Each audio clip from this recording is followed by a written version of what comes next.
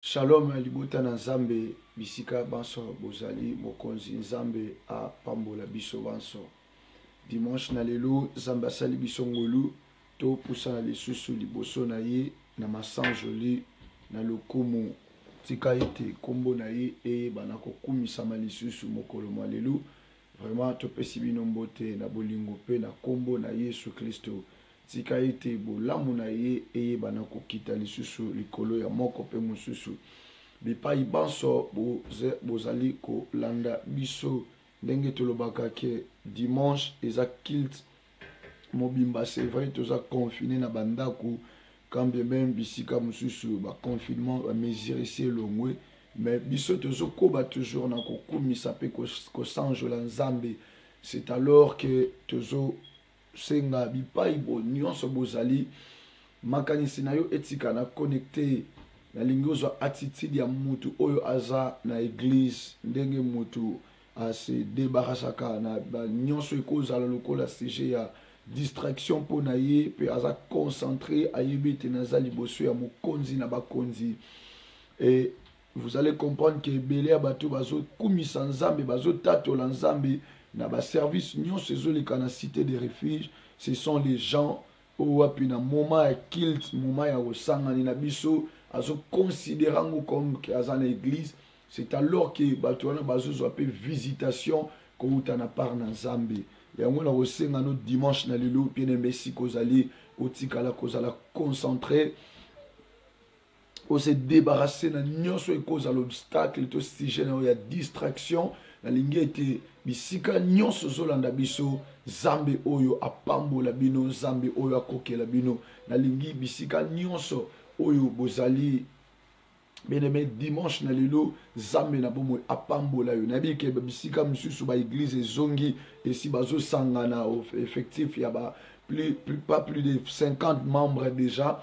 euh, okozala mpo outi na église na bino mais bien aimé nzambe balukaka ye kaka nalingi ete mokolo na lelo oyebana kozwa mpe moko na part na nzambe oyo apermettre ke dimanche na lelo oyebana kozwa yango katikati na mosala oyo vraiment que dieu vous bénisse très abondamment bozalaki na biso ensemble durant toute la semaine e lelo eza dimanche oyo wapi toyokaka ba enseignement epai ya mosali na nzambe epuis tolekanaka na koprie kobelela nzambe e ce que je souhaite que dimanche na lelo bien aimé osimba nzambe na makanisi na yo meme voir meme maloba oyo okoloba esimba trop na bonzambe na ye etindika seigneur jésus afongola lola na ye mpo ete bikama moko ebana na kati ya bomoi na yo bien aimé une seule chose c'est que tu dois savoir que le temps des miracles n'est pas encore passé. Les temps des miracles ne sont pas encore épuisés, bien aimé Sachez-le que aussi longtemps Jésus n'est pas encore rentré pour enlever l'Église, nous demeurions toujours dans ces moments, le temps de la grâce. Or, le temps de la grâce, c'est le temps des miracles, le temps de la grâce, c'est le temps des signes apostoliques, la puissance et la démonstration de la puissance de Dieu. Bien-aimé, la makanisi na yo esimba nzambe peut-être bande onzimela nzambe nanu te oyokaki nanu témoigna nzambe te peut-être bande okoma okoma komi okoma koconfesse que je suis un chrétien naza chrétienne mais parfois nanu tomona loboko na nzambe peut-être ekozala banda ondimela jésus ovivraka noka biloko normal nde ezake moto alamuki na ntongo aza na pema ake osala mosala mo boye esimbi moke azongi mais peut-être nana ovivra visitation divine na nzambe te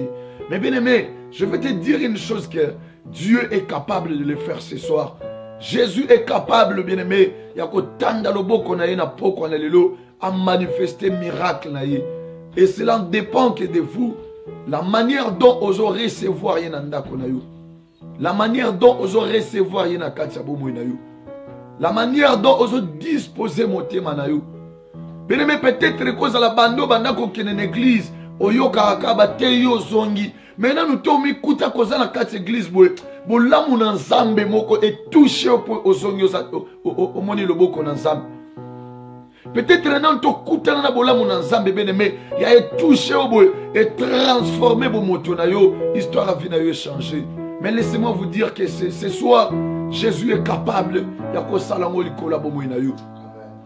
bien aimé ezo dépendre kaka na façon ozo dispose motema na yo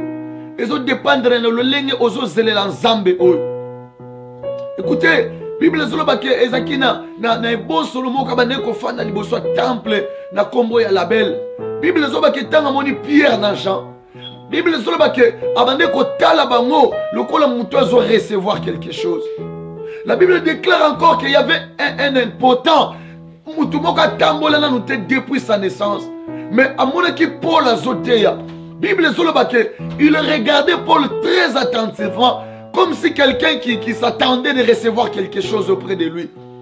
Et c'est alors qu'apôtre Paul avait déclaré droit tes pieds, il s'est levé d'un bon sens et il commence à marcher, bien-aimé. Écoutez, quelqu'un qui s'attend de recevoir quelque chose auprès de Jésus, azangana titi de lolenge moko na bato nyonso te.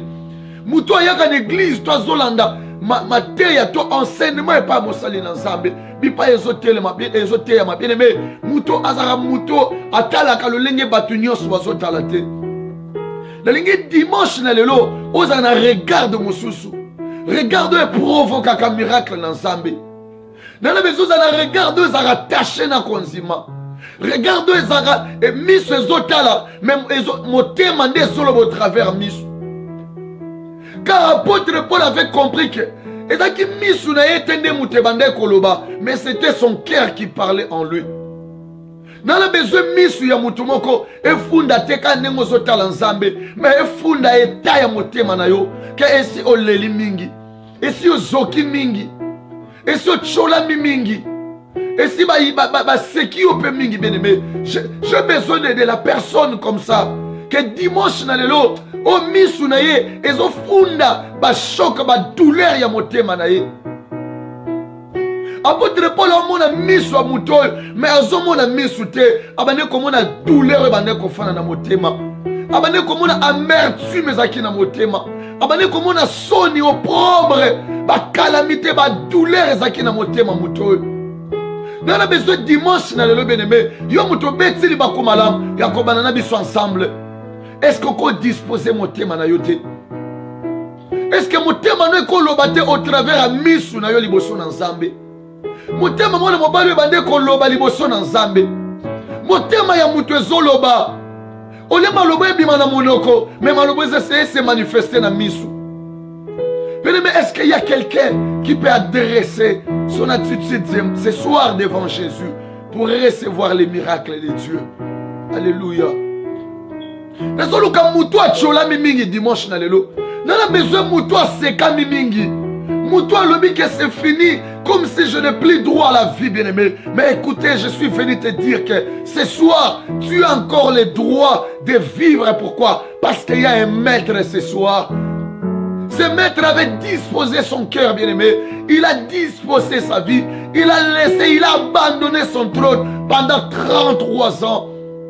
Descendre ici, bien-aimé, prendre un corps humain comme moi et toi pour nous sauver, pour nous accorder la vie,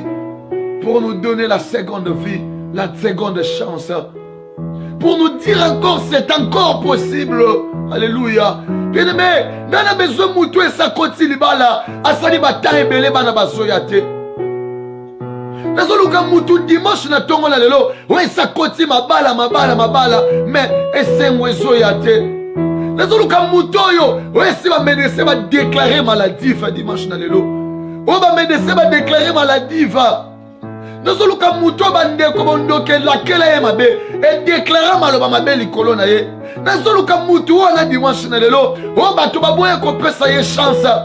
oyo bato balobake moto oyo naomona okende ne mosika ta osuka ne kakala mingi ta nazoluka moto oyo bato bazolobake disila odisparaitre ye wana nde moto nazoluka dimanche na lelo tosambela na ye nsambo ya ensemble et il va comprendre que au ciel il y a un dieu alleluia oh jésus nazoluka moto esacolami mingi yaya nazoluka moto oyo oyo azomona lisusu ntina ya kolata bilamba te mpo azomona malgre nazolata bilamba ngo nazobima nazotambola maintenant probleme bato bazotyolanga kaka ntina kuta kolata lisusu danger eza te soni ekomi partage ya vie na yo tu vis aux états-unis tu vis en europe mais vi vivre, vi moko ya soni ya au ta vie na yo mais écoutez je suis venu te présenter une personne il s'appelle jésus-christ de nazareth il est le sauveur il est notre rédempteur alléluia il est notre refuge ce soir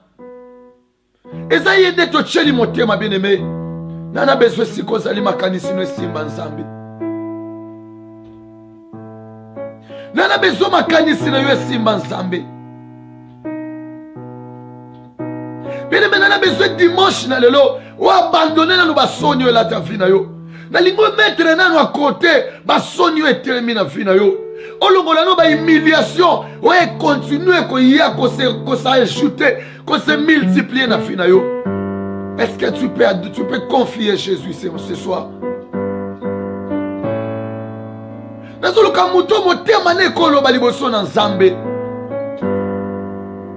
car dieu bien aimé amonaka oyo ezobeta na miso ya bato te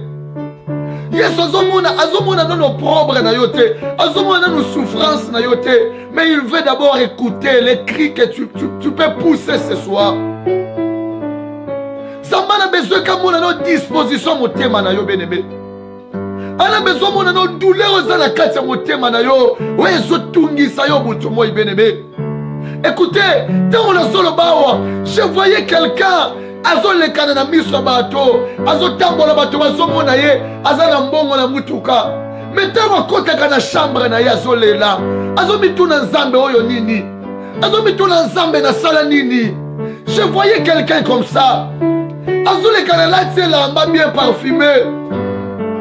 nazomona motu azoleka nazopiblie bafoto na facebook bato bazomona ye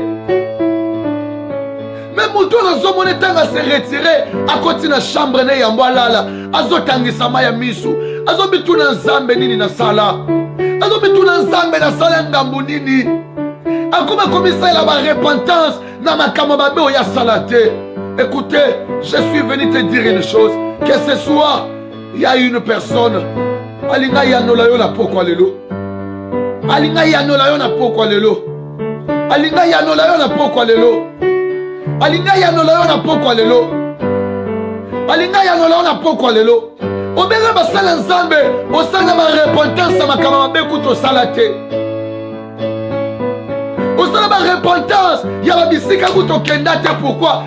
parceke mpasi eleki na mingi na vi na yo okomi na kose sous-estime eske kozala oyo te eske kozala oyo te mais écoute je suis venu te dire une chose ya un seigneur ya un seigneur ya un seigneur bien aimé ya un seigneur ya un seigneur ce soir ya un seigneur ce dimanche il a écouté il a vu tes pleurs bien aimé il veut t'exaucer ce soir il veut t'exaucer ce soir nazoluka moto akomibwaka na makolo na nzambe nazoluka moto akoloba ke seigneur je n'ai ni personne pour me jeter dans l'eau nazoluka moto akoloba ke seigneur si c'est toi ordonne que je marche nazoluka moto akoloba ke fils de david ey pitie de moi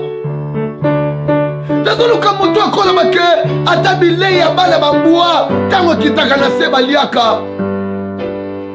nazoluka moto azoloba ke seigneur il sent déjà nazoluka moto azalaki sous l'espoir te na dimanche na lelo est ce que tu peux, tu peux, tu peux te confier à ce dieu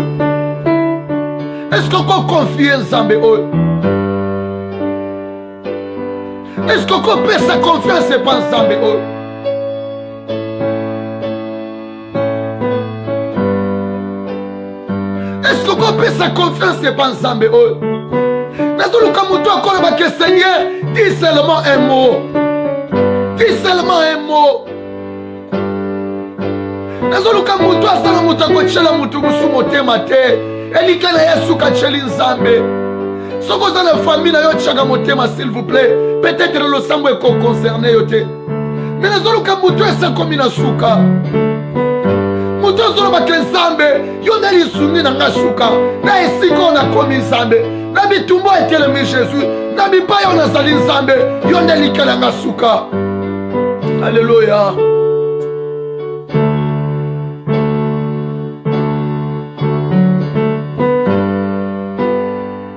nazoluka moto oyo oyo esakomi mayele esili ye makasi esili ye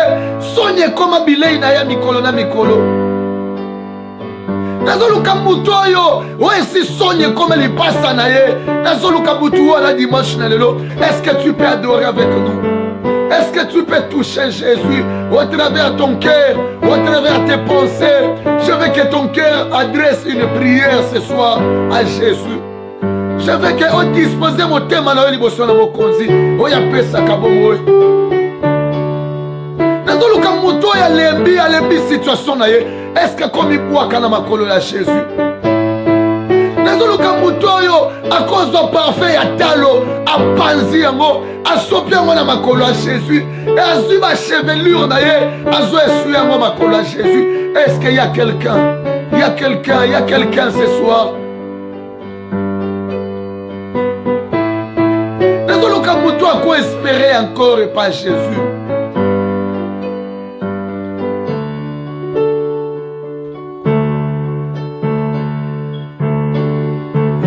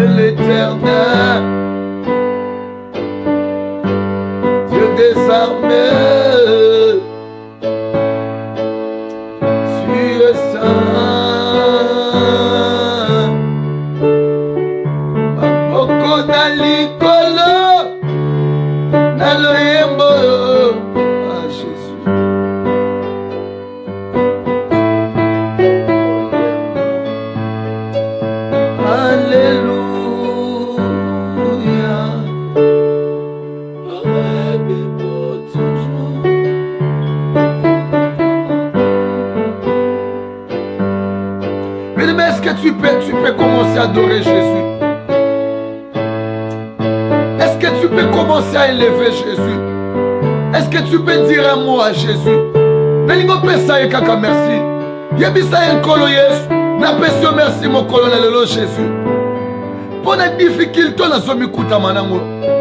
mpo na bitumba oyo etelemeli nga nzambe mpo na bakomba oyo etelemi na vi na ngai mpo na kozanga mabota oyo jésus mpo na kozanga mikanda oyo nzambe mpo na kozanga yawe nzambe sante malamu jésus mpo na bandoto mabe seigneur napesi yo kaka merci est ce que tu peux commencer à l'elever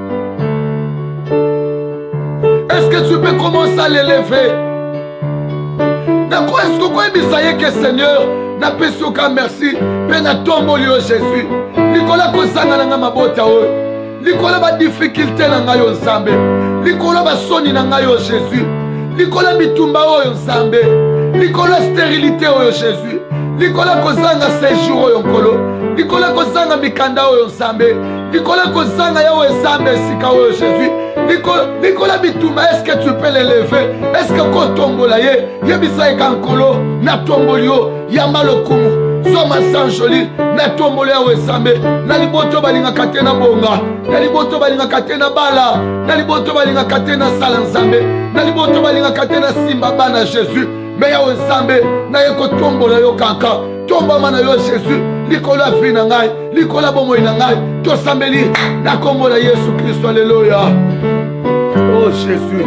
éternel et dieu yawe nzambe na bomoi mosikoli nzambe na lola je suis venu te lever mon roi yawe nzambe na bomoi nazotombola yo jésus mopesi na bomoi kolo mosikoli yawe nzambe eternel dieu mopesi na bongo ekolo nazotatola yo nzambe na kembo nazoeleve yo jésus krista o oh, père éternel dieu yawe nzambe na kembo soki yo te mosusu nani nzambe elombe ya bitumba na makolo naye koeleve yo moshama yawe nzambe mosikoli yawe nzambe na ngolu jésus yawe nzambe na nguya seigneur yawe nzambe na nguya jésus éternel dieu de toutes les capacités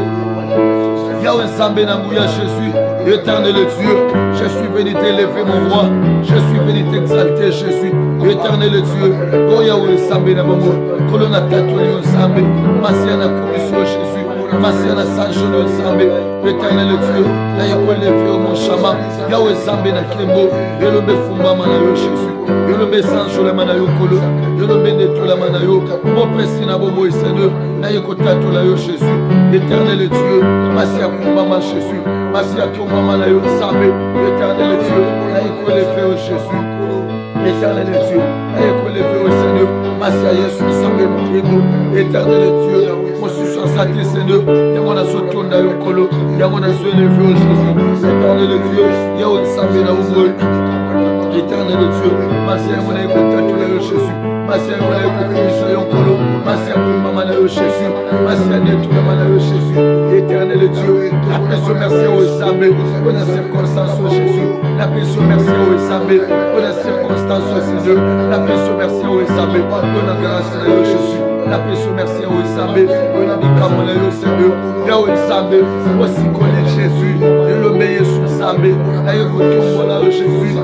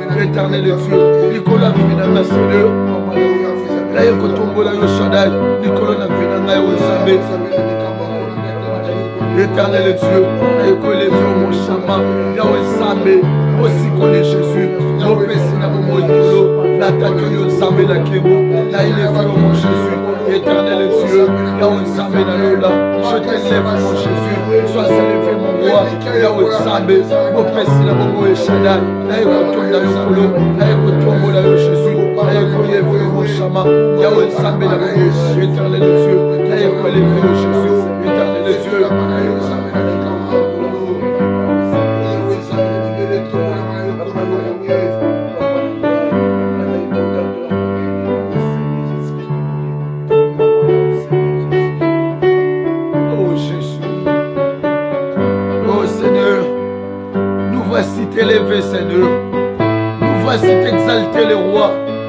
Nous voici, Seigneur, t'adorer, éternel Dieu. Nous voici t'élever, Seigneur. Nous voici, Seigneur Jésus, t'exalter, Seigneur. Ô éternel Dieu de toutes tes capacités. yawe nzambe na ngolu jésus mosusu lokola yo aza te nzambe masiya yango totondi yo seigneur masiya yango tokumisi yo nzambe mopesi na bomoi shadai yawe nzambe na kembo kumbama na yo jésus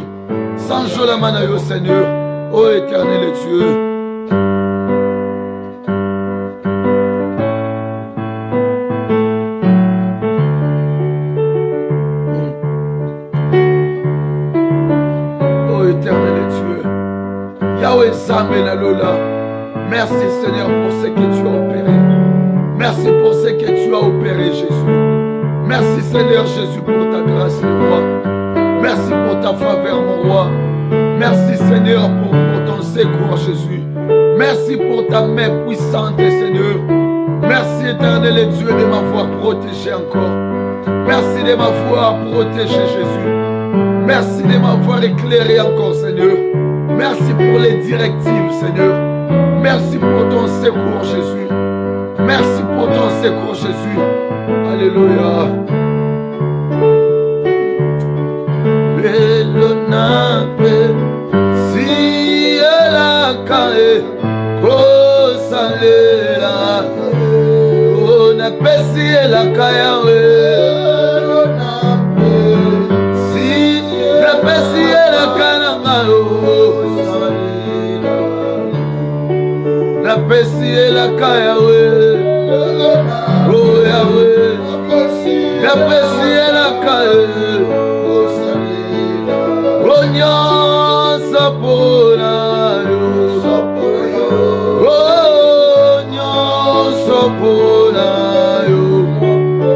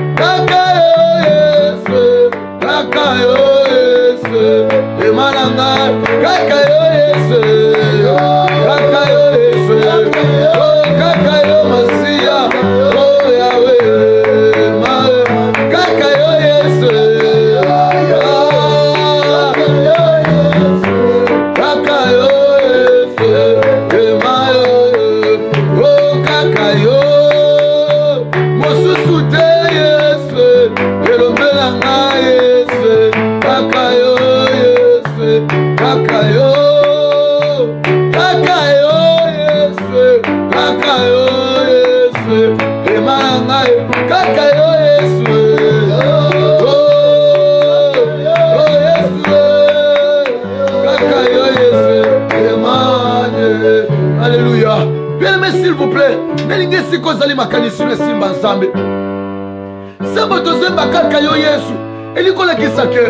ezala na bitumba na yo na baprobleme na yo na moma ya besengo na yo na nyonso ya vi na yo mosusu aza te kaka yesu meme na badosie na yo oza nango ya ncour kaka yesu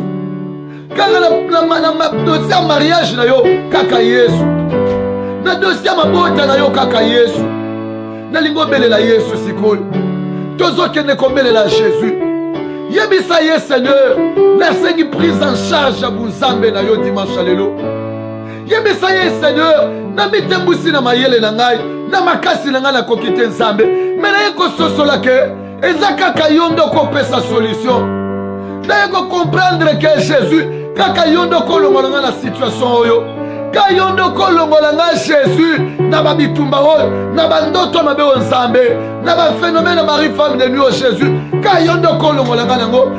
na badifficulte oyo jésus ka yo nde okolongola ngai nango yaya nalingi obelela jésus yebisa ye seigneur nasengi prise en charge na yo na dosi ya sante oyo nzambe na likambo oyo etelemeli ngai jésus eza kaka yo jésus yango nabeleli secour na yo yebisa jésus dimanche na lelo nzambe nasilisa losambo boye te jésus nabima te ya maboko pamba seigneur nasilisa life oyo te sanke nazanga komona loboko na yo yebisa jésus lokola na comprendre ke eza kaka yo seigneur papa fais quelque chose seigneur fais quelque chose seigneur manifeste toi seigneur agis jésus tanda loboko na yo nzambe yawe problème oyo ezwa solution maladi oyo ebika nzambe mpe bitumba oyo na mariage na ngai éternel dieu kimia ekota nzambe bamaladi oyo na sante jésus lobiko ekota nzambe na badosie oyo nzambe oyo eza ncour jésus éternel et dieu ezala traité positive yebisa jésus papa ye kozwa no dessus en charge yaka nono zwa makambo na ngai en charge yawe mpo na libala na ngai jésus yawe mpo na bana na ngai seigneur ya kozwa nono biso en charge seigneur mpo na mitungisi na mayele na ngai nzambe nasali losamba lolenge nyonso natiki mbetu nalali na se seigneur ya pas toujours le changement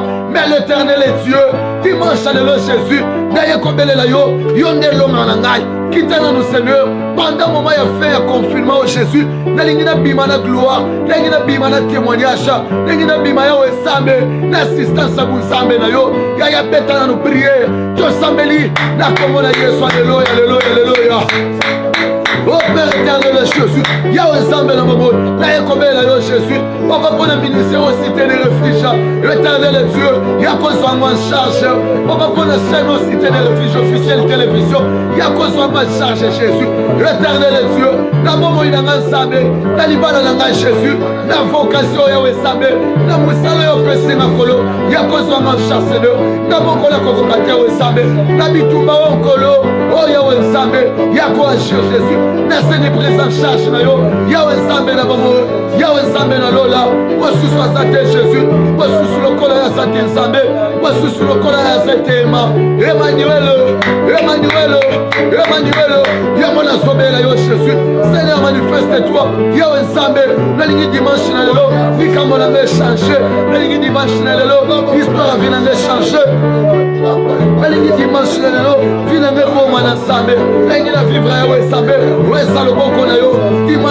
lelo seigneur vie na ngai change ndenge dimanche lelo seigneur nabika loboko na yo yawe nzambe na kembo seigneur manifeste toi mon jésus yawe nzambe na nguya nyonso éternel dieu tala ngai yo nasombela yo nkolo nanga besoin jésus oprendre vie na ngai charge ozwa libala na ngai charge ozwa foye na ngai charge ozwa vocation na ngai charge ozwa ministère wa charge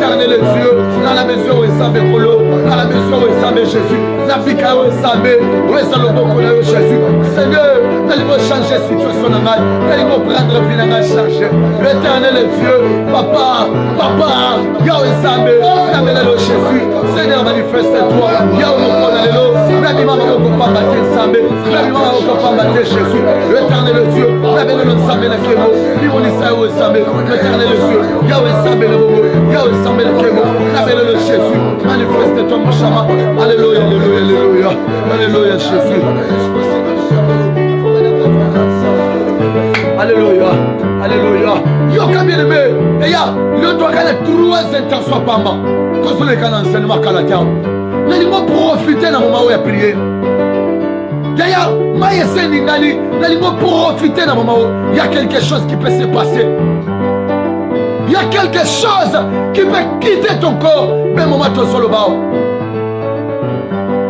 il y a une maladie qui libère ton corps maintenant il y a un problème oyo efanda des années des années ekotika vi na yo na moment tozoloba tikala concentre bien aimé nalingi kosala priere bible ezoloba ke jacob après avoir beaucoup souffrir epai ya papa laban epai oncle laban bible ezoloba ke azwi mwasi na bana bibwele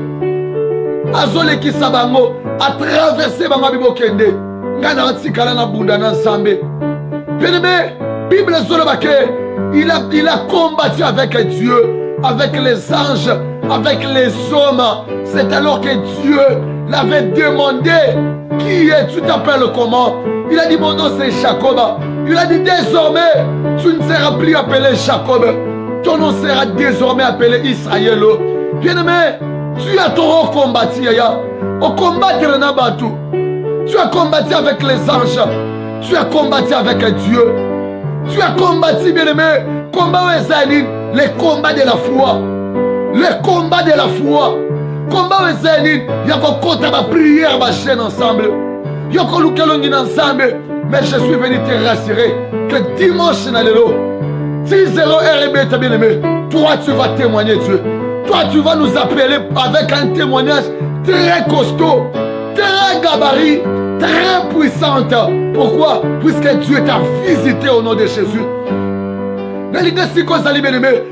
maboko nyonso mata likolo s'il vous plaît s'il vous plaît ozotombola maboko na likolo yebisa jésus seigneur oza nzambe ochangeaka histoire ya jacob olongola nkombo ya jacob jacob le nom qui signifie un voleur tu l'as dompté un nom d'israël tu l'as dompté des noms d'israël yebisa jésus seigneur problème na ngai yo nzambe yaya tanga ngo na nkombo soki eza kozanga kobota soki eza sterilité soki eza bablocage yelebe butu nyonso toyosambela oyo yaya bentenso bapriere ya ndenge na ndenge basije lolenge na lolenge me mpo nini problème na yo wana ekopersiste jusqu'à sa présent non dieu peut t'assister maintenant dieu veut te visiter maintenant bien aimé dieu veut te visiter maintenant Au moment où je parle, que la main de Dieu te touche maintenant. nalingi otombola moko na likolo ozobelela jésus yebisa ye seigneur lolenge bokochangeaka nkombo ya jacob or kochange nkombo ya jacob ezalaki lolenge moko nakochange nkombo na ye nakochange appartenance spirituelle nakochange etat ya vie na ye nakochange histoire mpe ya bomoi na ye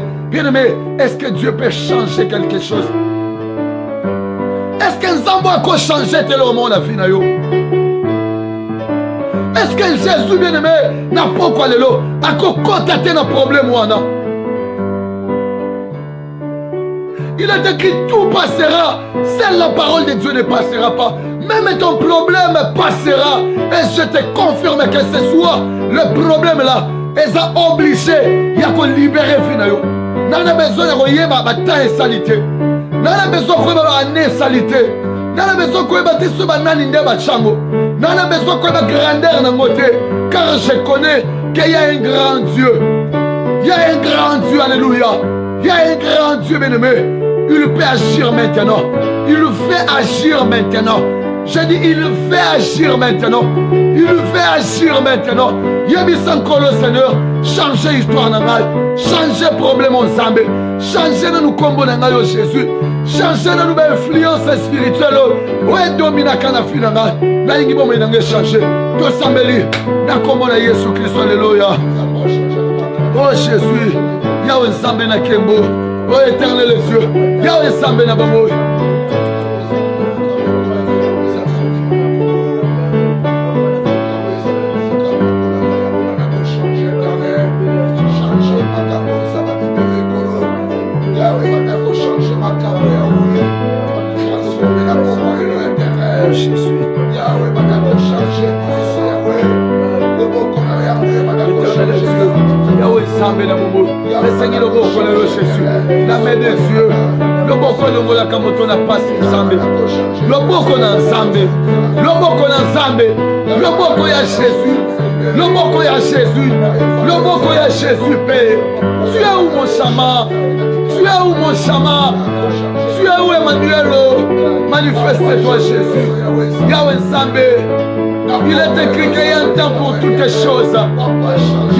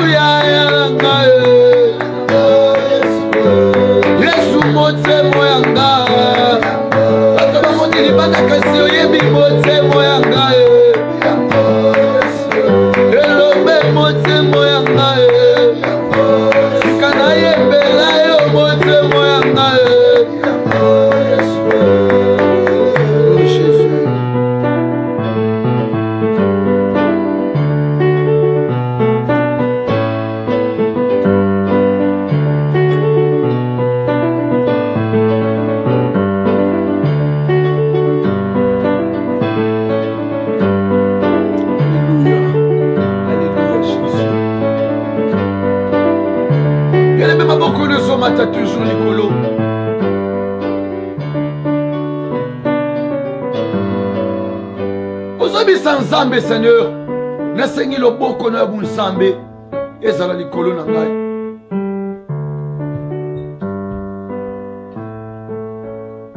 yebisa nzambe seigneur nasengi loboko na yo ya bonzambe ezala likolo ya bomoi na ngai yebisa jésus seigneur semelo momba tozobanda oyo nzambe loboko na yo jésus namona loboko na yo nzambe na ndako na ngai na mariage na ngai na misala na ngai na sante na ngai yebisa jésus na foye na ngai namona loboko na yo jésus yebisa jésus l'éternel est dieu alléluia yebisa jésus seigneur naza na besoin éternel est dieu semaine oyo shadayesu namona loboko na yo easiste ngai na nyonso ngai nakosala nzambe na misala na ngai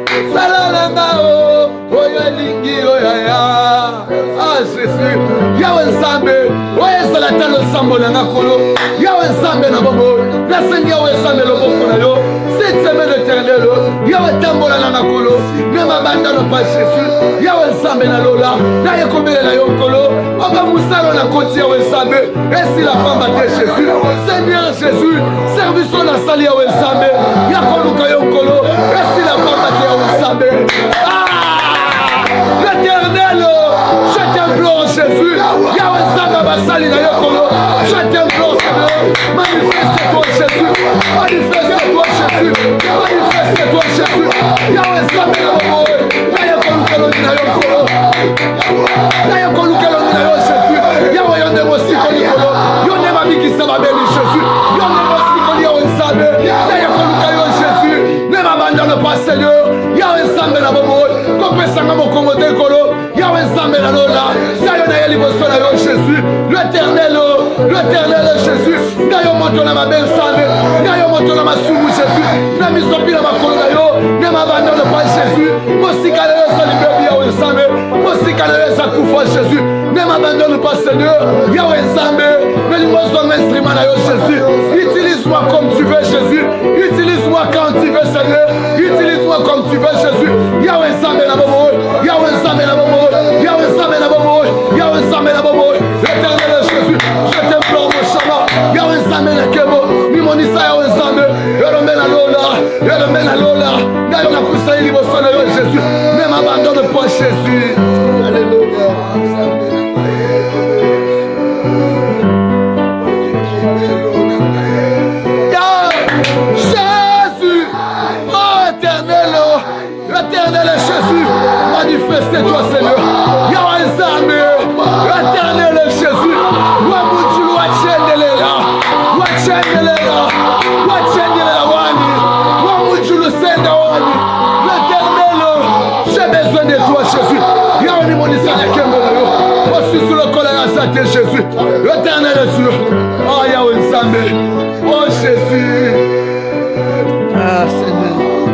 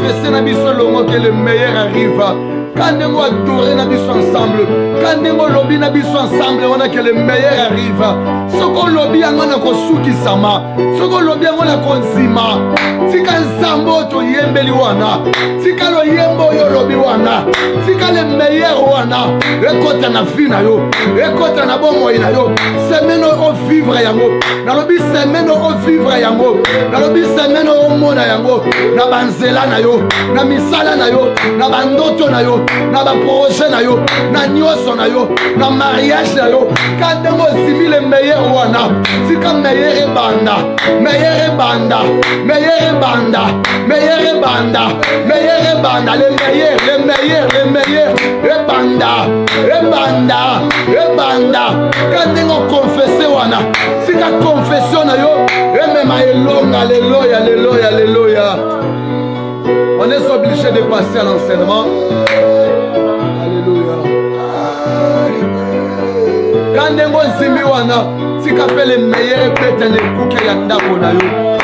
ka ndenge olobi le meilleur wana alleluia oh quelque chose qu'on déclare le meilleur c'est quelque chose de distinct c'est quelque chose oyo ekokanaka lelo mosusu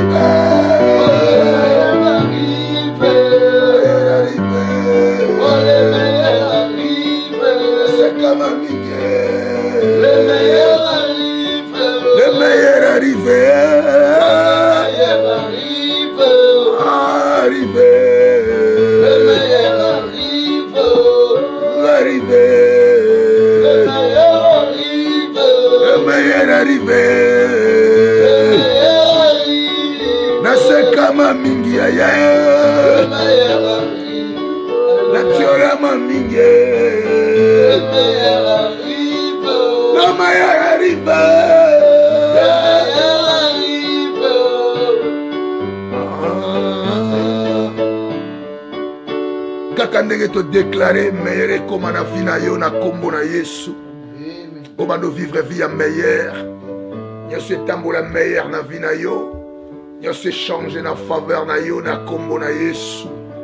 déclaration osali etambusa semaine na yo semaine oyo ezala semaine ya meilleur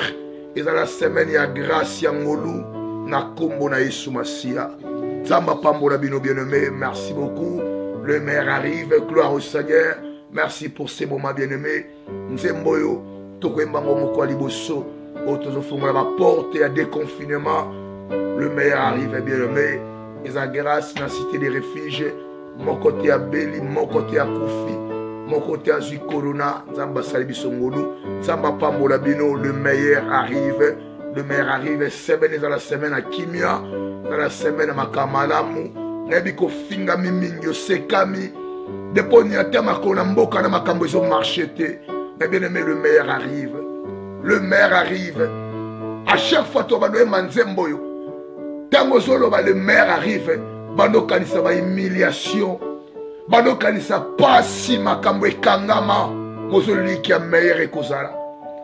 au lieu que situation nazo passer eza avenir na nga te meilleur ezoya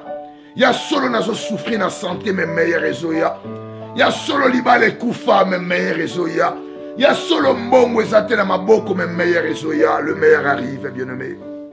gloire au seigneur nzambe apambola bino nyonso nzambe akumama merci beaucoup na évangéliste jani mpona eteni ya liboso nzambe apambola et il est une bénédiction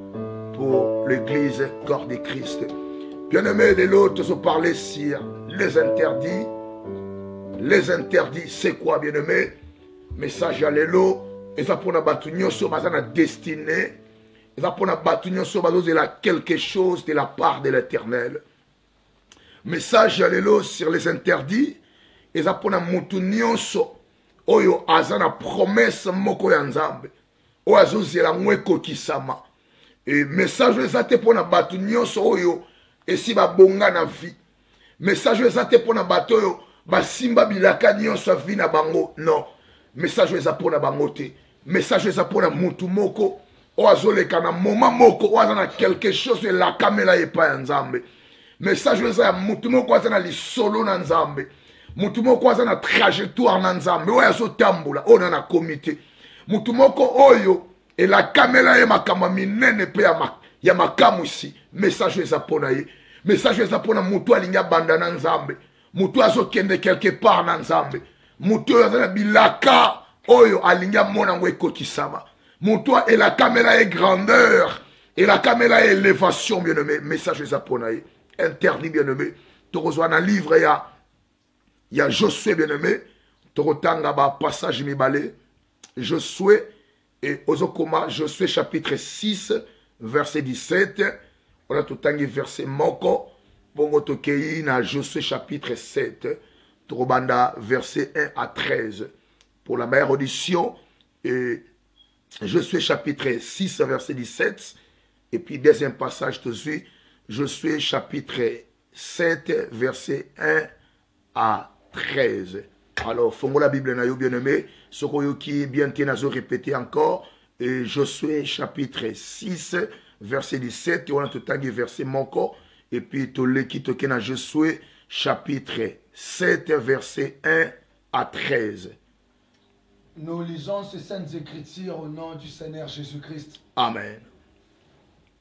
La ville sera dévouée à l'Éternel par interdit.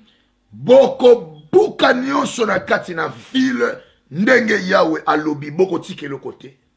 Elle yango et tout ce qui s'y trouve mpe bato nyonso to biloko ezali na kati na ville wana mais on laissera la vie arabe la prostituée Kasi bokotika bomoi na Rabe mwasi ya ndumba. Et à tous ceux qui sont à tous ceux qui seront avec elle dans la maison. Pe na bato nyonso bakozala na ye elongo na kati na ndako. Parce qu'elle a caché les messagers que nous, nous, nous avions envoyés. Po ye abombaki ba tindamelo oyo batindamaki epai na nzambe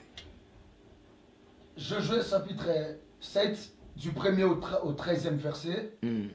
les enfants d'Israël commirent une infidélité au sujet des choses dévouées par interdit bana israele basalaki likama na kozanga kotosa nzambe na kosimba oyo epekisamaki bango basimba akan fils de carmi fils de zabdi fils de Gérage, de la tribu de Judas. Akan oyo ya tribu ya Judas. Pris des choses dévouées. Asimbaki oyo esengelaki te asimba. Et la colère de l'Éternel s'enflamma contre les enfants d'Israël. Kanda na Nzambe ebetaki likolo ya bana Israël. Josué envoyé, envoya de Jéricho des hommes vers Haï. Josué atindaki kobanda Jéricho bato bakende na ville ya Haï.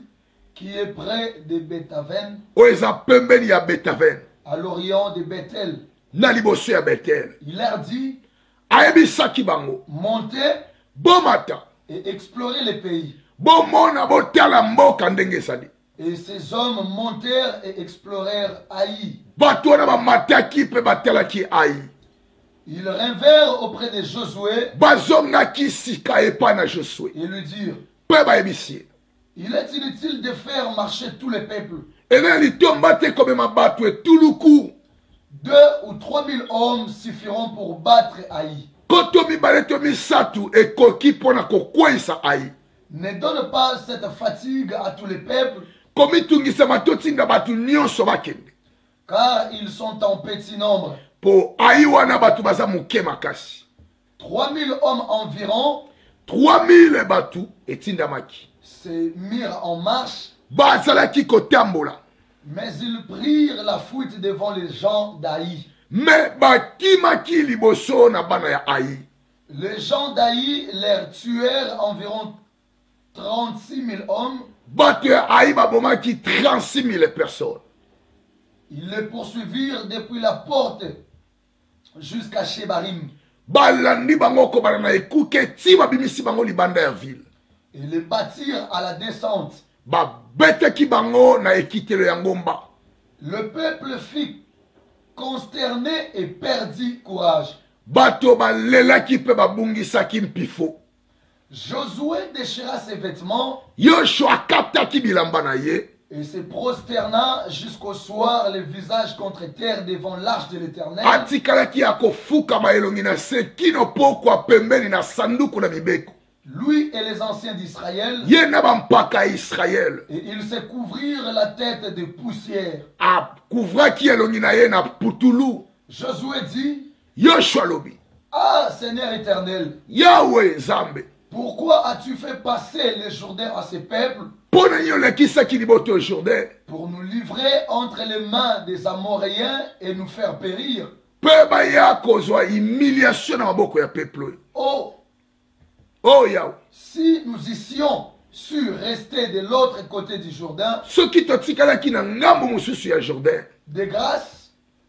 na ngolu Seigneur, que je dirais-je après Israël a tourné les dos devant ses ennemis nakoloba nini ntango israele apesi mokongo na banguna na ye Les Cananéens et tous les habitants du pays d'A- d'A- d'Alan prendront, l'en prendront, ils nous envelopperont et ils feront disparaître notre nom de la terre. bana ya kana mpe bikolo nyonso bakoyoka yango tokozwa soni mpe nkombo na biso ekobunga na bato na mabele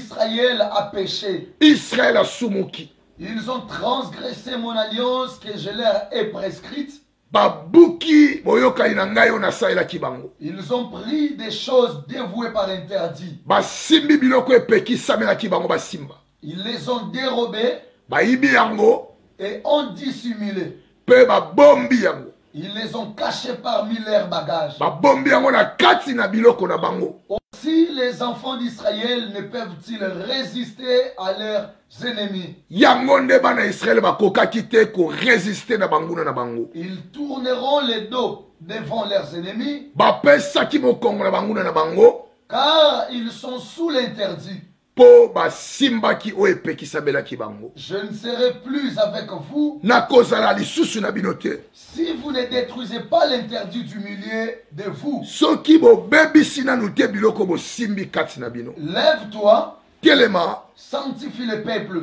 bulisa libota oyo tu, sais, tu diras okoyebisa bango sanctifiez vous pour demain bobulisama mpo na lobi Car ainsi parle l'Éternel, le Dieu d'Israël. Il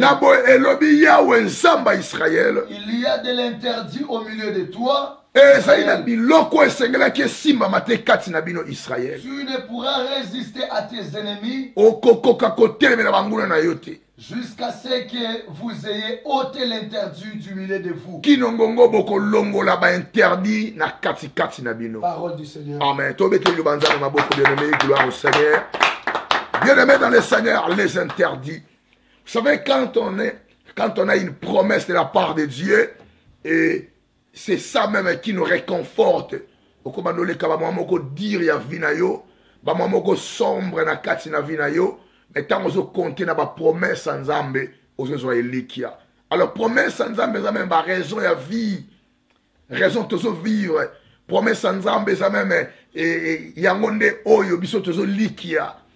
oyo nzambe aloba ekokisama nzambe alaka aloba mabota mabala aloba prosperité bomengo alakaka elevation alors en fait bapromese na nzambe yango nde ezali kopesa biso elikya yango nde ezali kokosuleve esperance na biso tocroire mpo toza na makambo ya malamu oyo elakameli biso nanu tomoni yango te nanu tosimbi yango te mposa na biso ali makambo wana tomona yango tosimba yango na maboko na biso topalpe yango me eza na eloko moko ezo empeshe biso totouche bapromese na nzambe awa israel ya bien-aime un peuple de dieu bauti na kati na egypte oyo ezalaki na se na boumbu na se na jour oyo farao atisaki bango israele abimi na kati na egypte esiko andimaka te ke akobima savez quand on parle de souffrance c'est vrai eza na banation basouffrir mais 500 ans bien aimé dans le seigneur presque 500 ans presque 5 siècles 430 ans na kati na boumbu na kati na bowumbu bien aime ntango babimi bakomi kotambola nzambe atikaki bango te nzambe amarshaki na bango na nzela ya basigne mpe bamiracle bakati jourdain mira jiriko ekwei bakoti batraverse bien aime awa baye kopesa bango mitindo esengelaki bakende babunda na ai vous savez komba nyonso eza na bastratégie na yango epuis eza na banorme na yango banorme ya bataille soki otosi yango te ozala na difficulté ya kovaincre etumba nyonso yaka na bainstruction na yango ntango ozobunda fo oza na notion ya bainstruction e nzambe etant que le général de l'armée de l'éternel apesi mitindo epa ya josue esengelaki bakota na ai bongo bango bakende koexplore parce que bawana ekosala ndeni soki bakobunda les deux pays bakotinda baespion baespion na bakokende bakoti na ville wana basurveille bakoti lokola bato normal lokola batouriste me baye na biti ya koexplore batala bibunde na bango eza nini bafrontière eza ndenge nini en fait ezalaki une forme ya service information service information mpo na kosinforme na banani tozobunda tozwa e, e, vraiment équipe ya combien de personnes alors ntango bakei na aye baexplore babi te kotinda na yo pays mobimba te bakende kotinda peuple nyonso te kaka 2 ou 3000 personnes baobeta ayi mpo ayi baza na bango moke alors josue oyo azwaki relève après kufa ya moïse atindi bato bakei babunda na ayi ntango bakomi bene babunda na ayi ayo bazalaki peuple moke me babeti bana israele ntango babeti bana israele kaka te me babomi bango e alors josue ayaki kotia elongi na ye contre terre akati bilamba apakuli putulu kokata bilamba na putulu ezalaki signe moko ya kotalisa désolation déception na kati na israel alors bien aimé ntango josue akomi kolela na bansi ya israel pembeni na ye pembeni ya arche de l'alliance ezalaki image ya présence na nzambe nde nzambe aye koyebisa josue ozolela nini josue alobi nzambe osali boye mpo na nini bakanene bakoyoka yango bamorin bakoyoka yango bakoloba be nzambe bango alongoli bango na egypte amemi bango mpo bakende koboma bango na nzela josua ayebaki ete nzambe apesi israele mokongo me eloko nini nzambe olobi na ngai eloko te toyokani bien bana israele bakei babunda alors nzoka problème ezalaki bachose dévouée par interdite selon josue chapitre 6 verset 17 esika totangi bayebisaki bango soki bakei baboma nyonso baretenir eloko te oyebi na combat spirituel soki oyebi kotosa bainstruction à la lettre te obanda otravaille na défaite ya vie na yo obanda otravaille na defete ya bapromese na yo bana nzambe ebele bazomona bilaka na nzambe ezokokisama te na vi na bango eza à cause des interdits interdit eza nini bien aimé interdit ezali eloko oyo okoki kosimba te eloko oyo okoki kosala te ntango ozotambola na nzambe soki oyebi notion ya interdit te otikala otombwama te na vi na yo soki oyebi notion ya interdit te otikala opakolama te soki oyebi la notion de l'interdit te okotikala koprogresse na nzambe te okoevolue na nzambe te alors histoire ya bana israel ezotalisa biso quand on marche avec dieu il y a des interdits interdit eza bachose okoki kosimba te bien aimé ozolanda biso oza connecte na cité de refuge nzambe asa elongolu nzambe akangola yo olingi obala olingi obota me ezali makambo mosusu okoki kosimba yango te okosala yango te okosemele na biloko mosusu te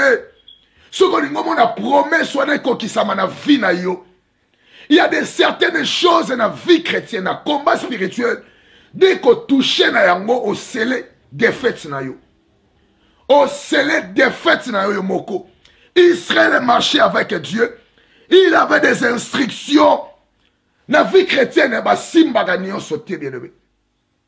La vie chrétienne basalaka nyonso te okosala nyonso te au nom de l'enfant de dieu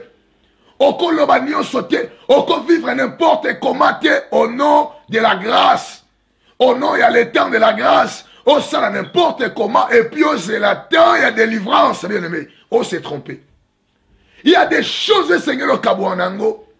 Luc chapitre 9 verset 62 abina biso ete quiconque met la main à la charrie et regarde en arrière il n'est pas digne il n'est pas digne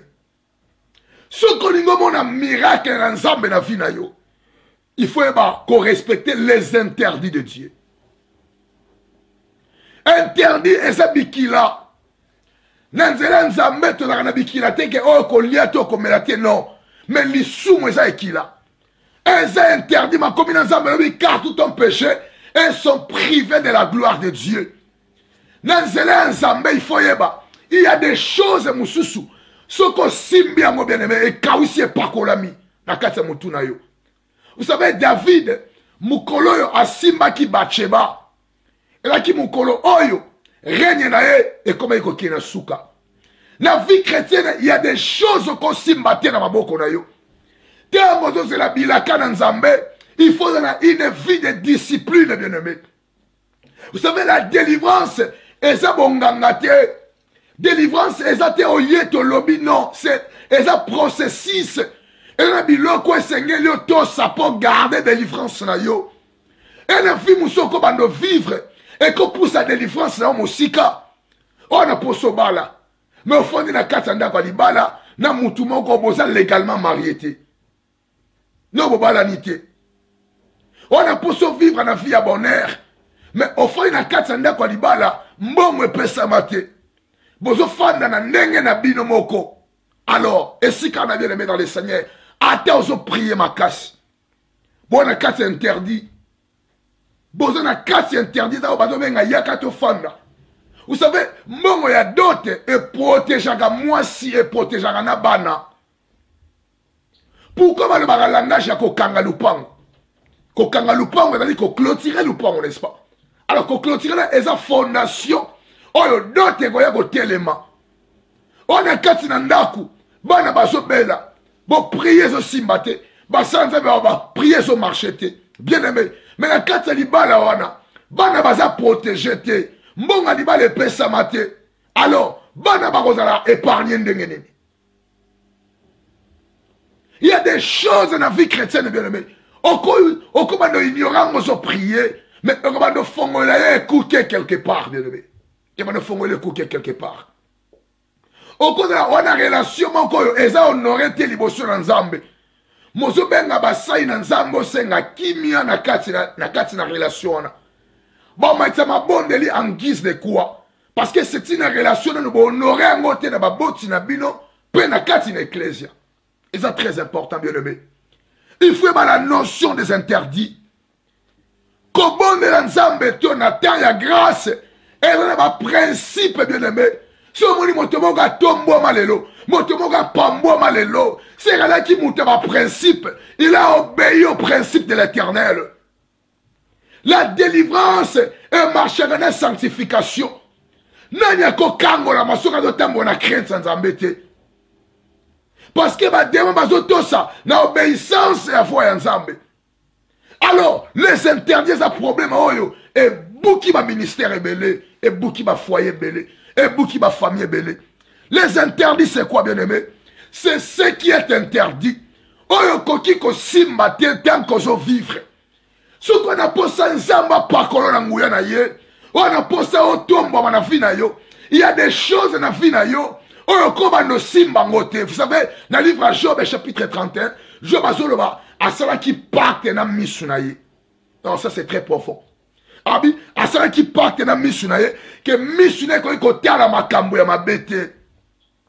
bato ebele batikali na prétention ke naza na bilaka na nzambe nzambe alaka ngai me bilaka yango ozozela yango na attitude nini bienome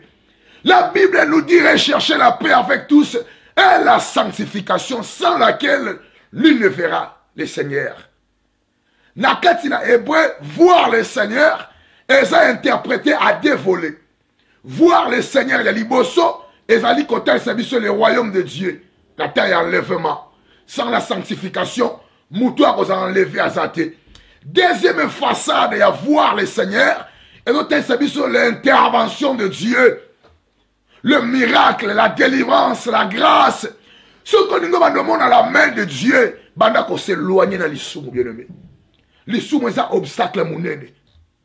le peuple de dieu oyo bazalaki na promesse ya abraham nzambe abe ya kotambola na bango nzambe alobi bakovaincre bakozala motu me mokila te mais à force ya kotouche quelque chose oyo ezalaki interdit epuis motu moko asimbi yango acompromettre ka mobimba israele c'était akan akan ake kozwa balengo dor asimbi makambo epekisamaki parce que na josue 6 et 17 nzambe abi ntango bokokende boboma nyonso boravage boboma me ntango akan ye amoni balengo dor azwi yango akundi abombi na babagage na ye na vie chrétienne bien aimé okokoma na la plus haute dimension te soki oyebi la notion des interdits te les interdits eza biloko eza inaccessible biloko oyo bien aimé dans le seigneur oyo eza prive okosimba yango te interdit eza censure soki olingi omona loboko na nzambe na vi na yo bando s'éloigne na nyonso eza interdit tozebe tozela bilaka na nzambe nzambe apambola nga nzambe asalela nga me nazovivre na vi nini mosusu azela nzambe apese libala mazovivre na kati na ekobo alors ntango ovivre na ekobo ozosenga libala nzambe azomono deja oza na mobali ozosala biloko oyo bamarie basalaka c'est déjà un mariage mozosenga yango nzambe interdit eza ennemi monene bien aimé interdit que bo ba ko respecter les interdits de Dieu vous savez mokili na plan ya Nzambe quand Dieu a créé le monde Nzambe asalaki jardin d'Eden jardin d'Eden ezalaki image ya présence de Dieu parce que Eden elingi koloba délice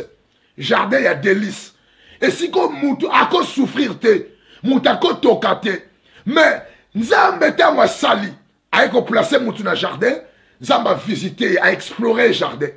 ayebisi ye kosimba nyonso mais quant à l'arbre de la connaissance du bien et du mal okotikala kosimba yango te c'était l'interdit moto azalaki na baarbre ebele alaki na plus de 600 000 arbre selon étude biblique ezotalisa biso baespèce ya arbre na jardin d'eden ezalaki plus de 600 000 alors moto ekosimba kaka oyo nzambe apekisaki ya simba quand on touche aux interdits de dieu on est voué à l'échec bien aimé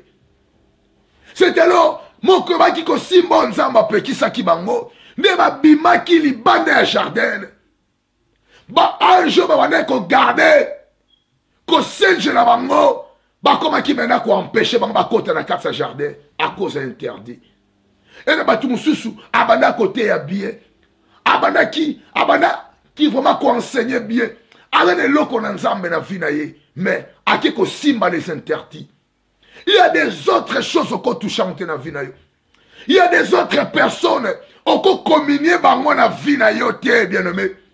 ce sont des personnes interdites bomema vino na kati na trouble alors message elo ezali ete ozozela la délivrance de dieu tozokɔta jeune prière ya un mois et si tu esika ma prière à problème à long terme problème à longue date ça c'est rassuré mais ça très important respecter les interdits de dieu et tant que chrétien, il y a des choses que tu ne dois pas toucher.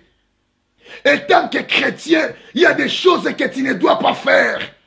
Étant qu'un serviteur, un homme de Dieu, il y a des choses na vie na yo. Okoza na accès na yango moko simba ngote. Apôtre Paul alobi na biso na 1 Corinthiens 10, abi na biso nyoso eza permis mais nyoso eza utile te. Soki olingi marcher na Nzambe, olingi impacter na vie na yo bien-aimé, il y a des choses que tu ne devras jamais toucher.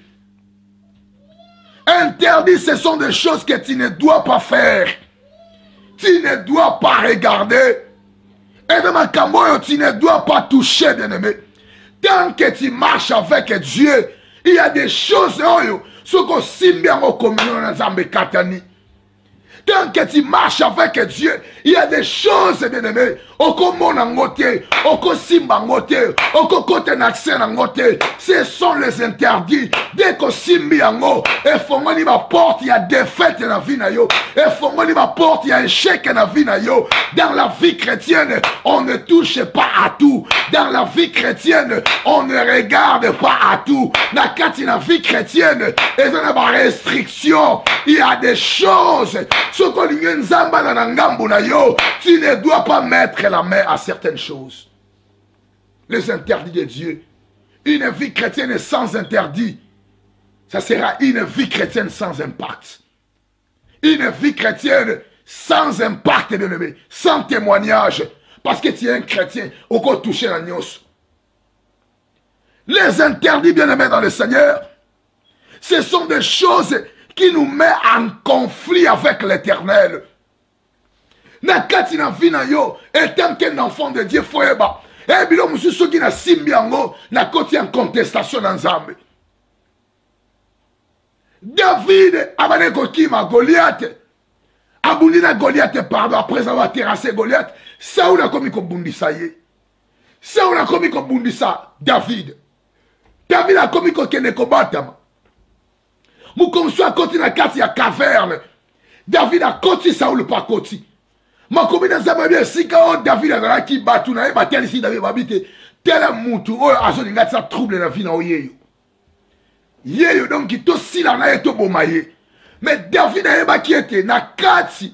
na kati na marche chrétienne eza na biloko mosusu oyo okosimba yango te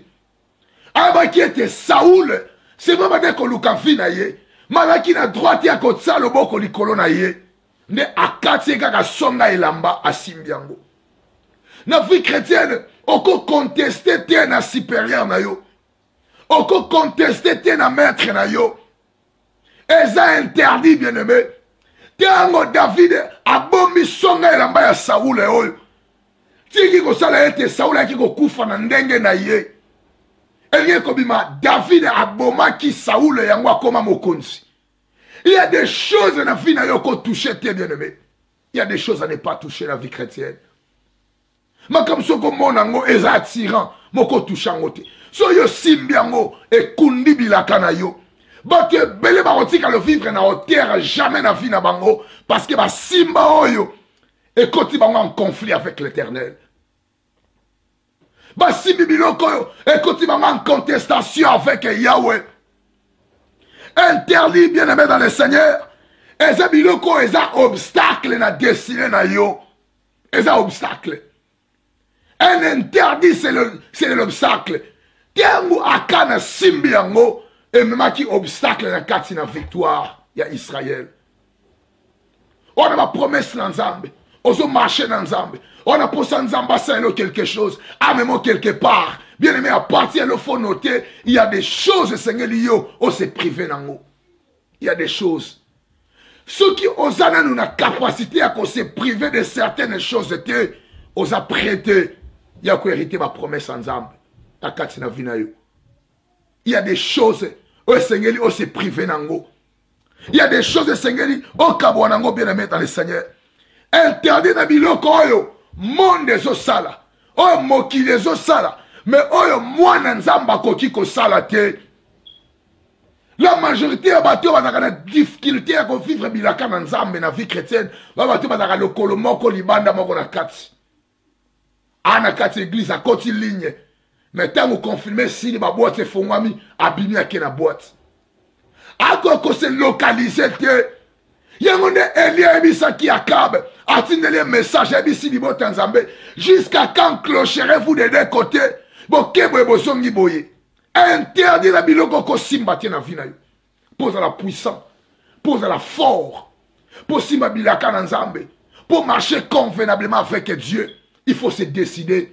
e na liste ya biloko oyo bana nzambe ebele fo batrace bana nzambe ebele fo batrace liste ya bainterdit na vie na bango biloko nini epekisama oyo otushaka nango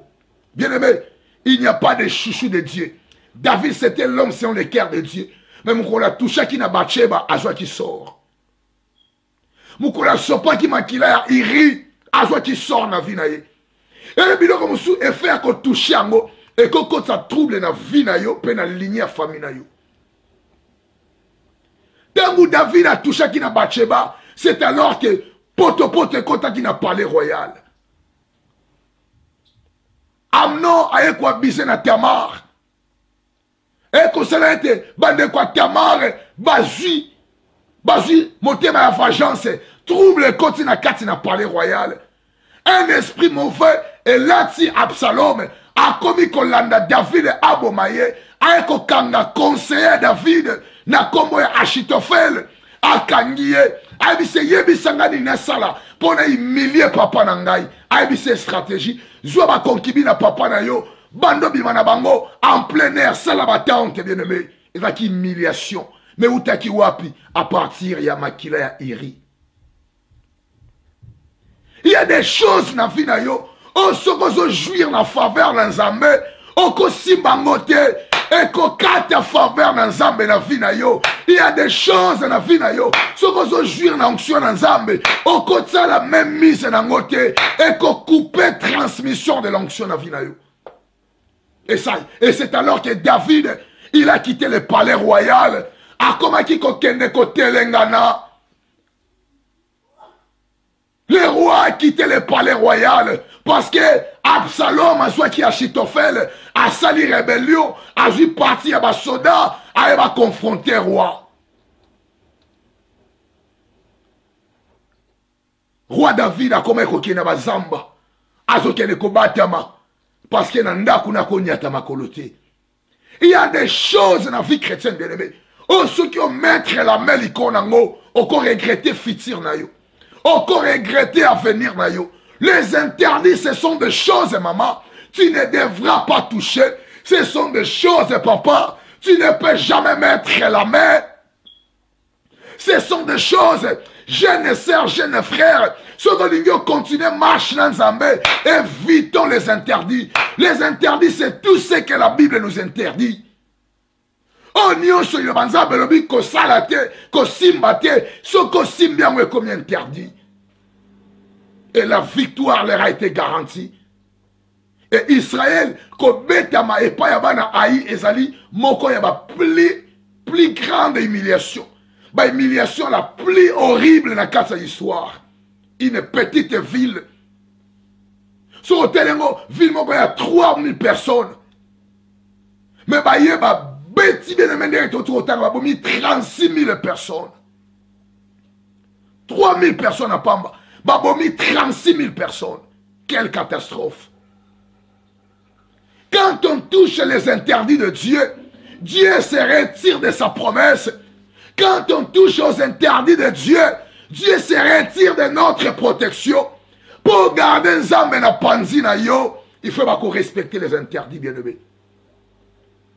adam na eve mokolo basimbaki mbuma les interdits de dieu bamonaki baconséquence miso efongwamaki bango bamoni baza na bilamba te ntango nzambe ayaki au lieu de la rencontre au lieu de rencontre nzambe akutana na bango na pokwa nyonso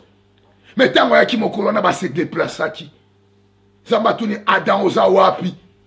adobi te nabatami mpo naza na bilamba te okomona ngai boye te nazoyoka soni yo mona ngai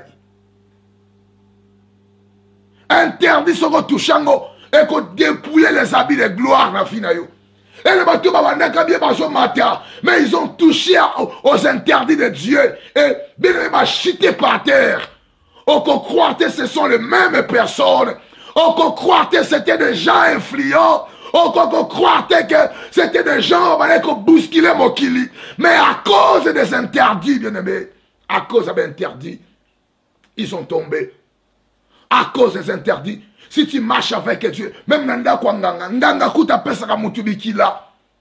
soki moto akoti na ndako ya nganga e na biloko moto akotikala kaka kosimba te na vi na ye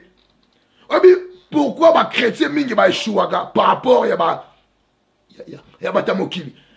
moto ya mokili akoti na ndako ya nganga chrétien aye na ndako ya nzambe bapesi bango mibale mibeko bayebisi moto akoti na ndako ya nganga zala sire mbula ebetelo libanda te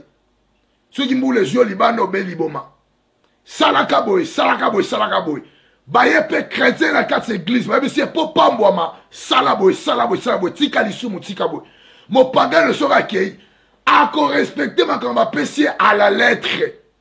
akotosa yango ondire soki azali kotosa yango akufi abeli liboma azotosa yango na ekenge chrétien akoya abandi kotosa moko akwei alobi nzambe ayokela ngai kaka mawa nzambe asunga ngai antuka bolembu la chair est faible nzambe asalaka ngai grâce grâce ya nzambe likolo na ngai e na fin ya journée mopagano atosi bikila wana akomi koimpacte chrétien euti na ndako na nzambe akoya koreleve la tete te à cause des interdits ene makambo na vie chrétienne okoki kosimba yango to kosala yango te olingi okoma moto ya nguya kabwa na ekobo olingi okoma obando imparte mokili ya des choses oyo maboko no ekosimba yango te les interdits de dieu israel a perdu la bataille israel a perdu la victoire bake kobeta bango horriblement epuis abomi bango wapi na descente ya ngomba donc ntango bazobeto epasola ya motu kokita no mbala moko na valoki ekufa bazopanza bango ondire bazoteta kokoti bien aime à cause ya bainterdit interdit eza eloko oyo soki osimbi yango ekofragilize force na yo olingi ozala une femme forte ozala un homme fort alors respecte bainterdit ya nzambe na vie chrétienne toza na accès ya kosimba n'importe quoi te non meme paul azo yebisa na timothée alobi celui qui invoque le nom de l'éternel doit s'éloigner de l'iniquité interdit bien aimé dans le seigneur soki ozovivre na bainterdit na vie na yo yango ezomema victoire te ezomema défaite bainterdit ya nzambe soki otosi yango c'est la victoire qui intervient mais soki obrise yango c'est la défaite qui intervient bato ebele na vie na bango bakotikalaka komata te à cause ya bainterdit oyo ezoreklame bango des hommes de dieu puissants bon vas se priver de certaines choses ils ont vécu dans l'obéissance parfaite de dieu malgré leur nature charnelle ils ont bien surmonté faiblesse ya corps na bango faiblesse mon molimo na bango faiblesse ya émotion faiblesse c'est mon ils les ont surmontés c'est alors que dieu leur a confié des grandes choses des grandes choses des grandes choses des grandes choses les interdits de dieu les interdits de Dieu, les plis de mes seigneurs, l'un des plus grands prophètes dans l'histoire, le prophète Moïse, bien aimé. Moïse avait trois rôles en Israël. Il était le libérateur d'Israël en Égypte. Moïse était un prophète de l'éternel. Et troisième rôle, il était un législateur. Moïse a marché avec Dieu, bien-aimé. Moïse a humilié Pharaon. Pharaon n'était pas seulement un roi en Égypte, mais Pharaon était comme un dieu. On priait Pharaon, on s'humiliait devant Pharaon. Mais Moïse a humilié Pharaon. Pharaon, bien aimé le Seigneur, tant que Israël va bimi, va marcher. Moïse a marché avec Dieu. C'est les prophètes que Dieu parlait. Le col en est tous le baboué le kabiso. oyo bato ebele mpo nzambe aloba fo akanga miso mpo nzambe aloba fo ake na mbeto alala moïse parle avec dieu comme ça bien aimé mais oyebi koma moïse akufa na vi na ye moïse akufa ndenge nini c'était à cause de l'interdit nzambe ayebisi ye zwa nzete kende loba na libanga ye azwi nzete akei abeti eske na libanga oyo mpenza mai ekobima les interdits de dieu bien aimé nzambe abi ya cause ya osali yaka amatisi ye na mo ebo abi na ye tala ozomona abi wi nazomona kana na mosika abi wi omona yango mokota yango te parce que odeshonore ngai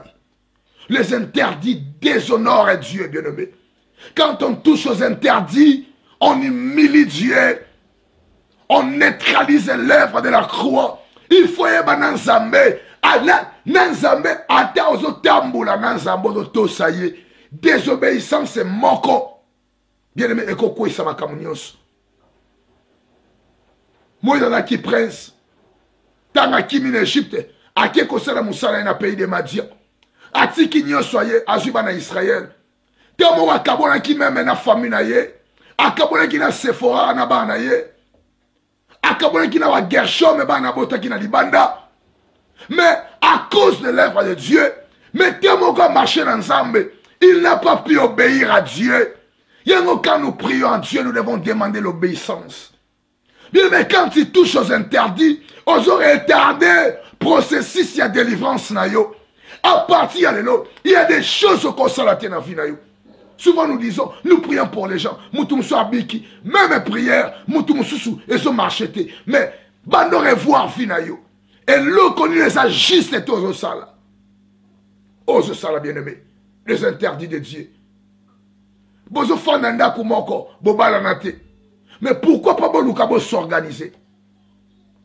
bien aimé dans le seigneur et mpo na kosorganiser mpo na kosala rien que introduction ya kose présente epai ya famille ça dépend ya famille avec 200 euros okosala yango avec 200 euros okosala quelque chose bato ebele bagaspillaka mbongo na barestaurant mais wana motu moko olingi obatire vie ensemble na ye olobi olingi ye mais wana makoki te ya kosekirize ye na mopanzi na yo mais vous priez dieu vous avez besoin de l'intervention de dieu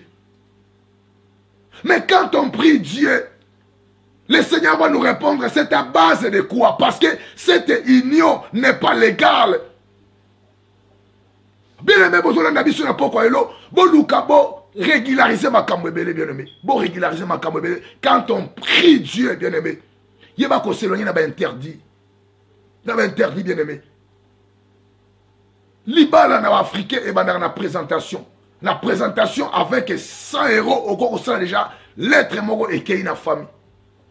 vaut mieux ezala ata na facture na maboko nazosala eloko moke moke banda asala pa moko bien aimé dans le seigneur sala pa moko parce que ntango eh, eh, yo ozosenga lisungi ya prière on peut prier à dieu on peut prier à dieu mais na basa nini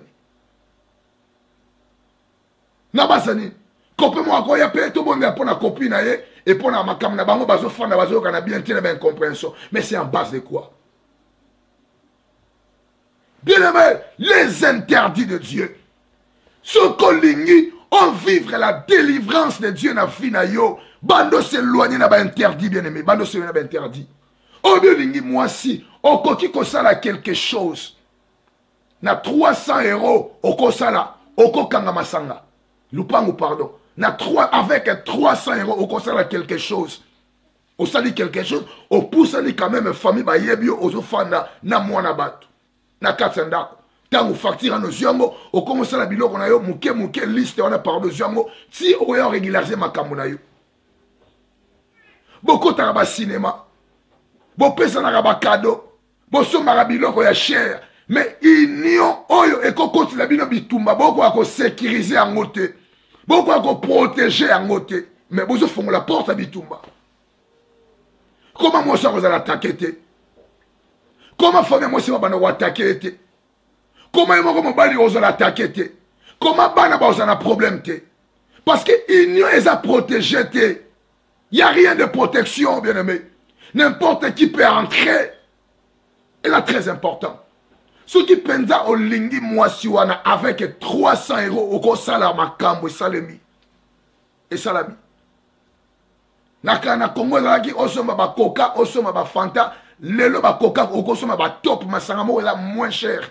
casier nango 10 dollars 5 dollars même osombi osali quelque chose oyo ntango ozoya kosenga lisungi mpo bato na nzambe ntango bazobondela bazoprie parce que eloko oyo eza legal te na miso ya nzambe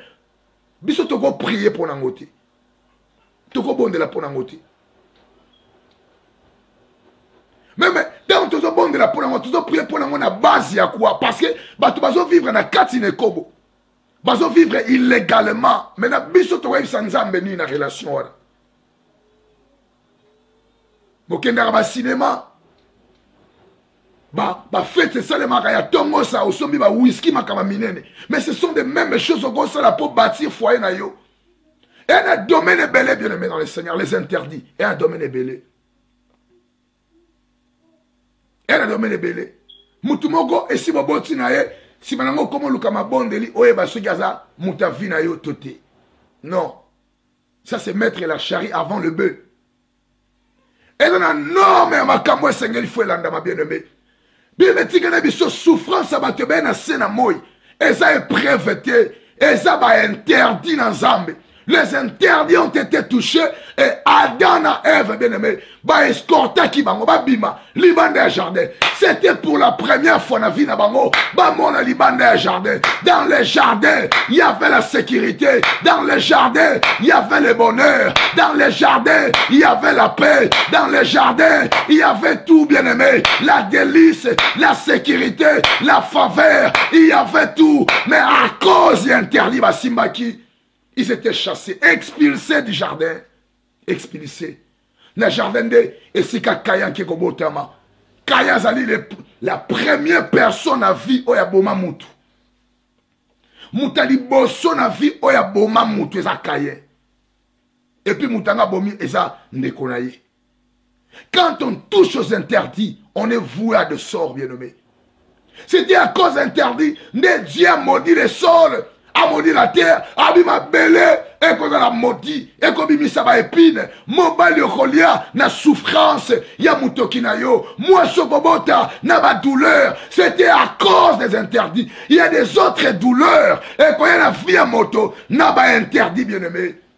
il y a des autres personnes oviva vie na yo ndenge ovivaki omimonaki oza mwasi kitoko mobali kitoko aujourd'hui des choses ne marche pas okoma oblame nzambe mais bando otala vie bien aimé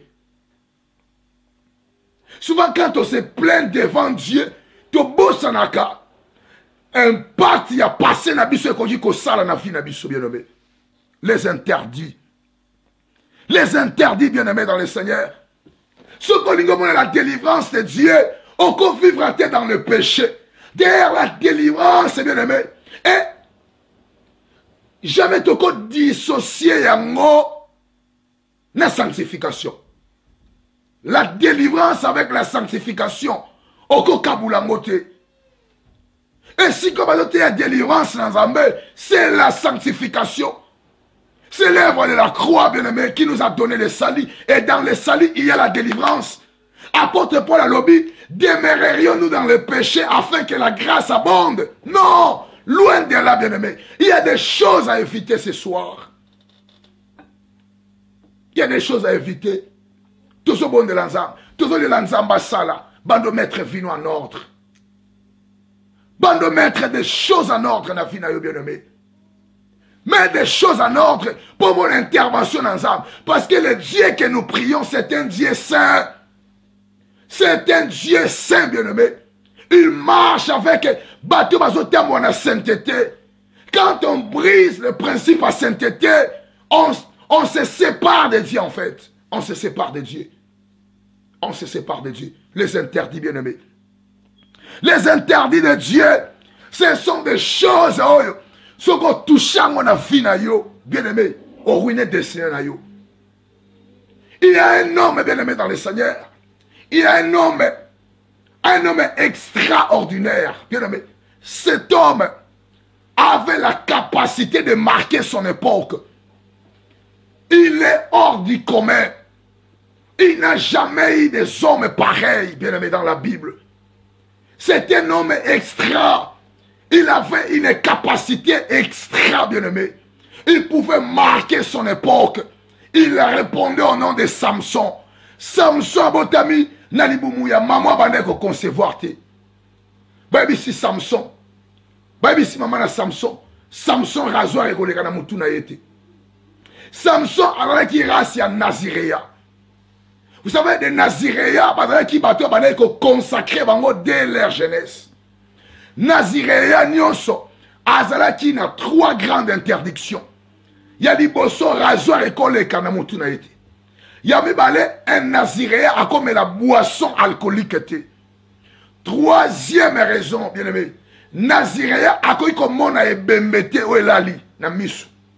non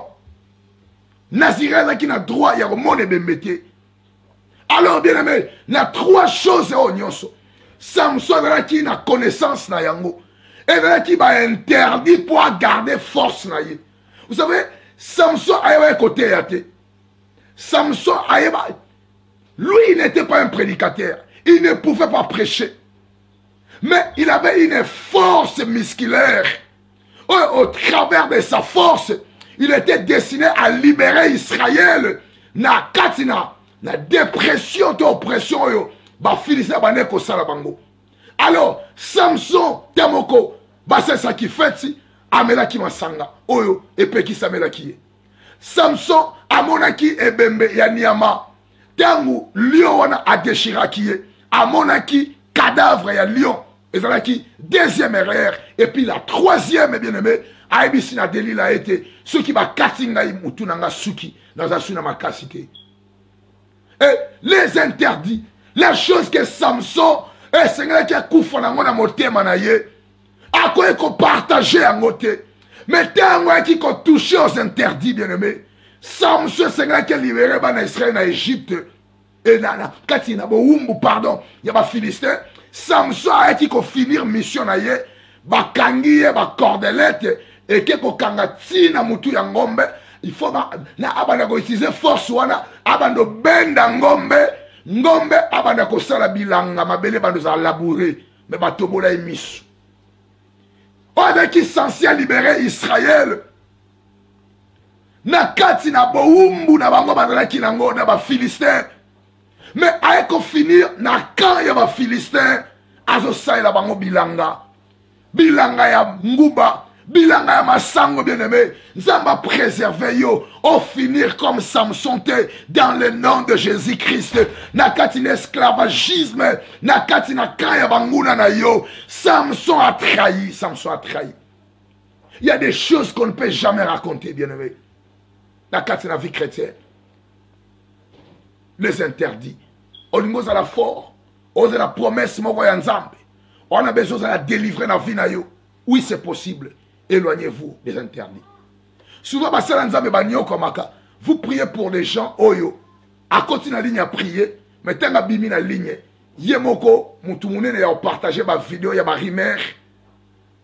ba ba video ya ba insanité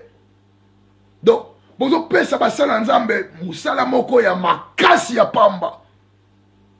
parce que loko bazo déclare soki oya na vie ya sanctification te ekotouche vie na yo te ekozala na impact na vie na yo te même si on pouvait cracher du feu même si on pouvait cracher du feu dans la télévision mais ntango yo ozomarche na vie moko eza approprié te devant le seigneur okangolama te bien aimé ya moko ya biloko ezo retarde la délivrance ya bato baguérison ya bato bando marche na sanctification bando reverifie encore vie na yo Est-ce que Nazali, la ligne droite Yanzambe Est-ce que je marche comme la Bible nous le dit La délivrance et la sanctification, bien aimé. la délivrance processus ya délivrance oko réussir na yango te en vivant dans le débauche na mensonge na kati bien aimé dans le seigneur na, na kati na bapéché ya langue en vivant na kati ya mensonge na calomnie bien aimé oko vivre yango te okobloke baporte ya délivrance na vie na yo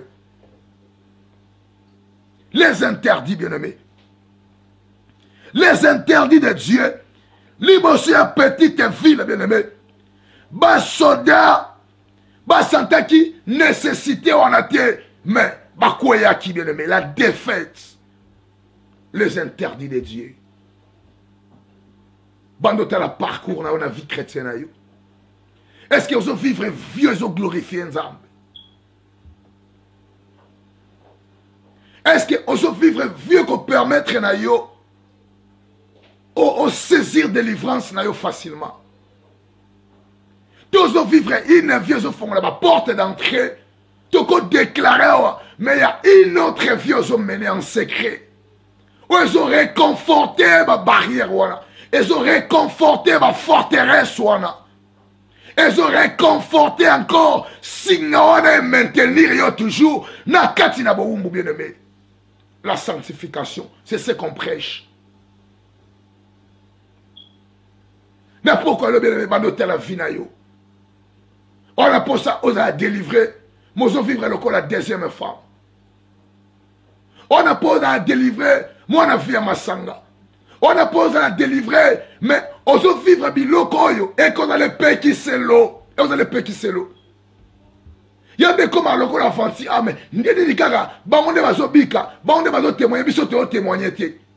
eza ndenge nini yango pourkui temoigne yango ezokipe bilongi bando tala vi na yo est ce que ozovivre vie eza irréprochable est ce que ozo vivre vie oyo ezo permettre na molio mosantu asala mosala na vie na yo na nzoto na yo nzela ya nzambe ntango okoti makolo mibale ezala na nzela ya nzambe benebe les interdits de dieu tomoni israel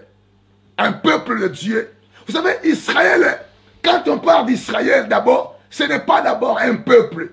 c'est une personne jacob oh, son nom fit changer commis israël israël veut dire peuple fort israël veut dire les soldats de dieu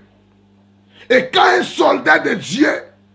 va commencer à perdre des batailles, c'est que quelque part il a touché aux interdits de Dieu. je suis akati bilamba abima ah, nzambe pourquoi osoumettre biso na humiliation ya boye les interdits de dieu apporte l'humiliation apporte l'humiliation nzambe ayebisi je sois bino naki kolela na yo mais peuple oyo akana atouche aux interdits kende kuna sanctifie bango lobi sanctifie bango la sanctification tu ne sauras jamais arriver na Canaan, tu ne seras jamais touché à la délivrance, bien-aimé. Ceux qui n'ont vu na yosomi, mais oso vivre vieux na ya crainte dans un métier. Dieu a martelé sur la sanctification. Pourquoi, bien-aimé Pourquoi Pourquoi Dieu a martelé sur la sanctification C'est la sanctification, la sanctification c'est l'autorisation qu'on donne à Dieu d'agir dans nos vies. Parce que Dieu est saint. Il ne peut être certifié à travailler dans la vie d'une personne qui vit conformément aux instructions de Dieu. Tu veux vivre la délivrance de Dieu, ben de vivre conformément à la grâce en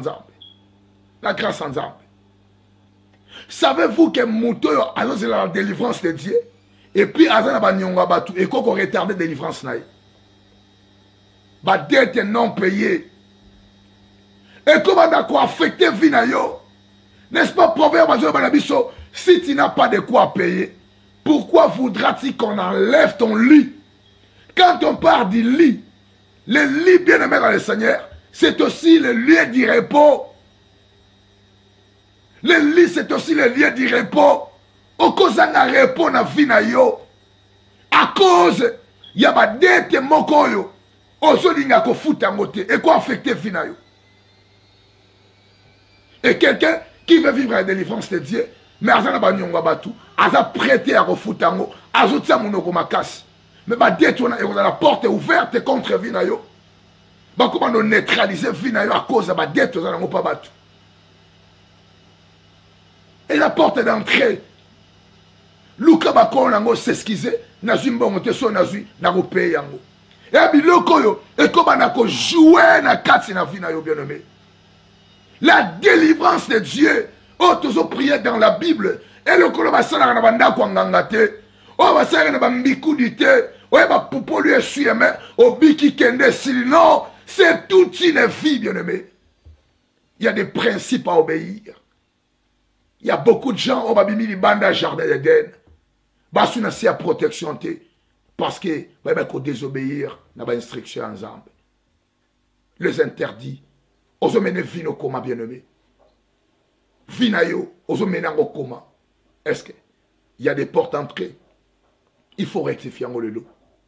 parce que soki il y a des portes d'entrée et on va nous avoir obstacle au milieu oh, oh, on va nous vivre la délivrance de Dieu dans vie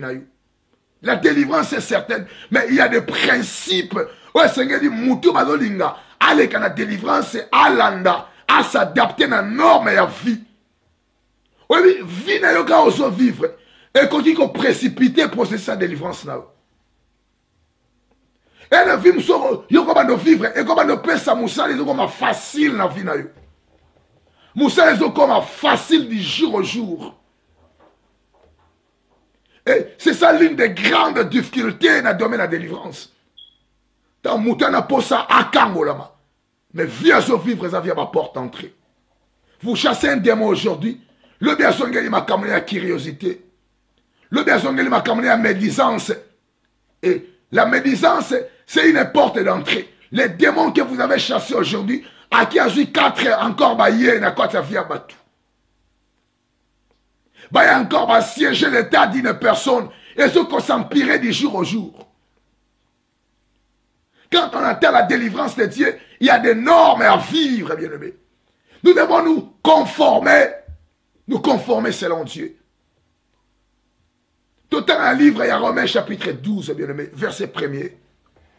makomi na nzambe elobi na biso nini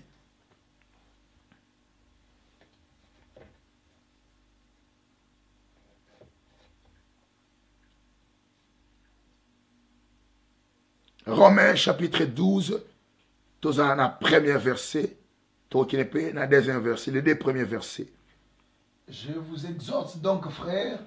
Nazali kobondela bino balingami. Par les compassions de Dieu. Na bolingo ya Nzambe. À offrir vos corps comme un sacrifice vivant. Bopesa nzoto na bino lokola mbeka ya bomoi. Saint. Mbeka esantu. Agréable à Dieu. Oyo ezali kosepelisa Nzambe. Ce qui sera de votre part un culte raisonnable. oyo ekozala mpo na bino esengo kilte moko ya esengo epai na nzambe Ne vous conformez pas au siècle présent, botambola lokola bato ya lelo te mais soyez transformés par le renouvellement de l'intelligence bozala transforme na korenouvele intelligence na bino afin que vous discerniez quelle est, quelle est la volonté de Dieu. Nde bokokoma na makoki ya kodiscerne nini ezali mokano na Nzambe. Ce qui est bon. Oyo eza malamu. Agréable et parfait. Oyo eza agréable mpe eza parfait. Bien aimé, soki otali na verset 2 na verset premier omona apôtre Paul et façon akomi l'épître oyo erime quelque part. Na premier verset alobi na biso e nzoto na biso toofri yango lokola sacrifice oyo eza vivant saint et agréable alors na verset 2 aye kobandela discernement ezali agréable bon mpe parfait parfois eza image ya saint alors bien aimé na kati na vie chrétienne sacrifice esengeli tosala il nous arrive des fois to to tobetaka se te nga na vie chrétien na nga ah non na vie basacrifice basacrifice nasala sacrifice oyo osala esengeli ezala ya liboso ezala vivant vivant c'est quelque chose qui respire saint c'est quelque chose qui est séparé du péché qui est hors du monde qui est hors de la compromission il nous arrive des fois torelataka basacrifice oyo tosalela nzambe so tobi moko na moko na biso arelate basacrifice oyo topesa nzambe torelate yango ngai nasufraka ngai nasalaka boye se fre eza sacrifice mais est ce que sacrifice oyo ya liboso eza agréable est ce que eza vivant est ce que eza saint okoma loloba nasala basacrifice mpo nalanda prière wana badécalage ya aire c'est vrai eza agréable epa nzambe nzambe ayo asepela nango mais est ce que eza vivant ezopema est ce que eza saint c'est le apôtre paul sacrifice oyo ozosala soki eza saint te eza déclasse ebimi libanda sacrifice ozosala c'est vrai tobonda na badécalage ya aire ya misika bato ebele bazosouffrir eza sacrifice mais est ce que sacrifice yango ozobika yango na ndenge ya saintete ezomarche na saintete na crainte ya nzambe c'est très important bien aimé okoki jamais kovivre na lisumu osatendre na délivrance non ça va pas s'accomplir Ça ne va pas s'accomplir. La délivrance exige la sainteté. Parce que la délivrance, c'est le nettoyage. Bazo bimisa ya mabe eza na kati na yo. Yo koma no demeurer na mabe te. Si ozo demeurer na mabe, ozo vivre vie ya délivrance, okomi lokola fournisseur ya makambo mabe. yo moni bakoleso délivrance 40 fois parce que oyo bazobimisa ozo reproduire yango kati na yo basali baye babendi babimisi yo reproduire babimisi yo reproduire alors sacrifice na yo c'est vrai eza agréable nzambe azosepela na yango ekozala eza vivant ezopema c'est vrai mais est ce que eza saint sacrifice wana bien aimé moki oyo nzambe atisaki na motema na biso topartage que le seigneur béni sa parole libota na nzambe que dieu vous bénisse esika tozali nzambe na bolingo apambola biso nalingi toleka na quelques instants ya prière parce que eza culte mobimba ndenge tolekanaka to adore nzambe tokumisi nzambe tosambeli toteyi liloba na nzambe eloko moko kaka nde ezangaka eza offrande na ndenge ya mabe te parce que c'est ça c'est tout un culte lorsqu'on on, on offrait un culte à dieu on offre aussi les offrandes mais compte tenu ya ba difficulté ya moment oyo nde possibilité wana ezali te mais ça c'est tout un culte où tu dois adorer Jésus. Alors, pour qu'il te soit complet, il faut adorer, il faut louer, prêcher la parole de Dieu et offrir Dieu. C'est ça tout un kilt. Que Dieu vous bénisse très abondamment. Mais quand cela n'empêche, nous allons prier Dieu, bien-aimé. liloba na nzambe nde ekangolaka mutu j'ai aimé une chose l'homme de dieu a dit euh, yango toloba eloko mwa moke ntango tobaki kozala ngulu te ezalaka insulte te me kozala te kokoti na cité de refuge togangi tosambeli bapamboli yo neti kilta boye mosali na nzambe agangi ateyi yo apres ozongi boye yo wana na bastatut okomi otya na bozoyoka misika bafrere wana ya bandeko mosusu wana me ere moko omitali me mama oyo nde alobaki kaza na probleme oyo eh, ye yo nde papa yango ere moko totalaka no bastatut ya bato oyo oyo bapesaka biso banimero ya whatsapp okomona vi azomene na yo ose rappele nango paster caleb une fois nazwi nimero ya mama moko ka nde tosololaka boye ere mona bandi kokota na stati na ye oh, natali makambo ya biloko mama azosala na stati bandeko na mituni ya bon parceke ntango ozoteya paster nde eloko wana ezongeli nga na motu donc que dieu vous bénisse vraiment papa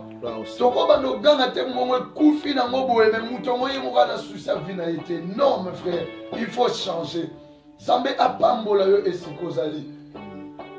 tozoganga awa nzambe abikiso nzambe akangolo mm. butu nyonso losambo na yo ozokende kotouche no toujours les choses que dieu a interdit mais comment est ce que okosimba eloko na nzambe mm. ndenge nini yo koluka oyo azwa telefone ya paster kalebe pourtant yo na ye bosololaka te okokoma wana ndenge nini il faut d'abord arranger mpo ozala na possibilité ozwa eloko epai na ye ebele ya bato baokota oluka nzambe azwa eloko mpa nzambe asite le refuge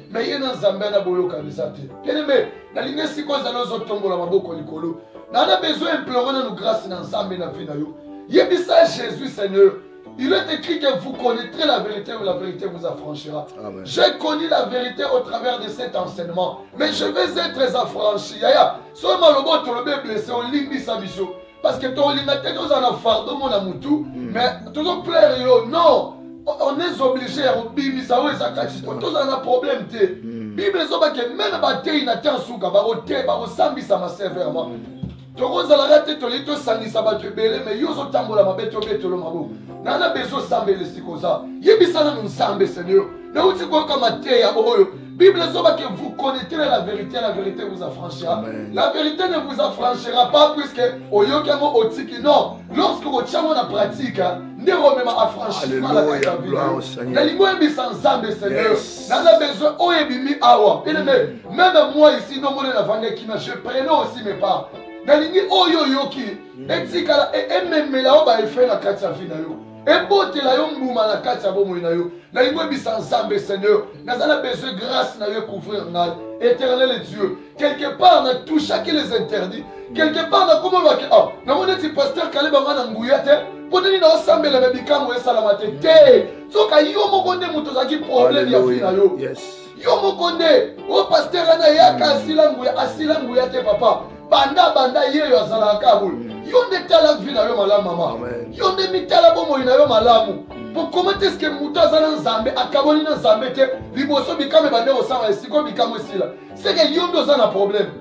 seke yo nde oza na probleme mama nalingi osala priere esika ozali yebisa nanu jésus seigneur nga na besoin nkolo yesu grâce na yo ekita na vie na ngai na touchaki les choses qui sont interdit mm. etindikaki nga mosika ya grâce etindikaki nga mosika ya opportunité ya kobika bikamwa na yo mais jésus nalingi nazonga lisu na kati yamba ngai mm. grâce na yo bonzambe ekitana na kati ya vi na ngai bosolo nauti koyoka awa ekangola nano mpe na vi na ngai natila koka nano mpe kotya ngo nano na pratike papa nakabana nano mpe na vi ya badeboshe vi ya kokendaka babwati de nuit ti ndenge ministre auti kopesa information yo ozoluka koyeba estce bafongoli boite mpo samedi ose rendre na boite apres dimanche oye kokota na biso tosambela nzambe bolingo papa tu es sûr que c'est dieu ici vraiment seke nzambe wana azali nzambe potopoto bongo oki osali no n'importe quoi yo osambeli aleya ya pesi yo bikamo ata kuta aza nzambe bolingo yango mama s'il vous plaît nalingi osambela yebisa jésus sujet ezaka moko wana yebisa nzambe nalingi nayoka grâce na yo jésus ekitana mpe na vi na nga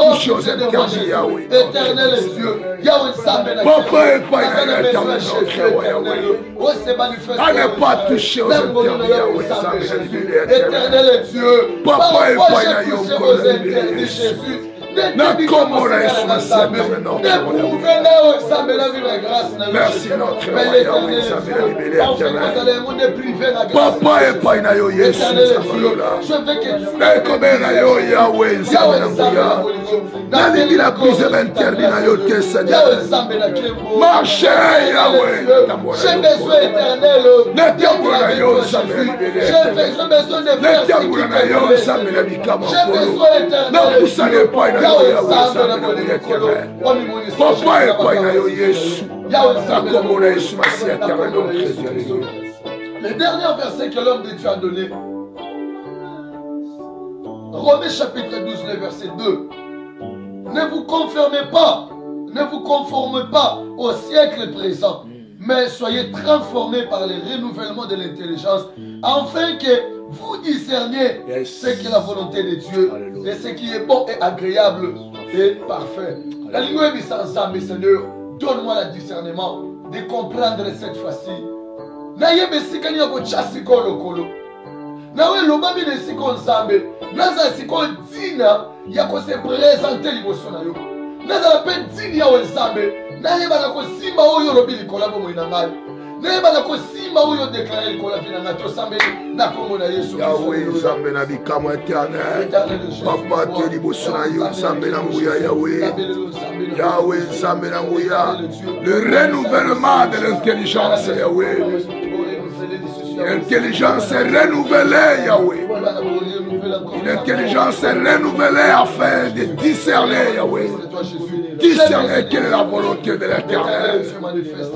Discerner, Yahweh, ce qui est bon, parfait, agréable, éternel.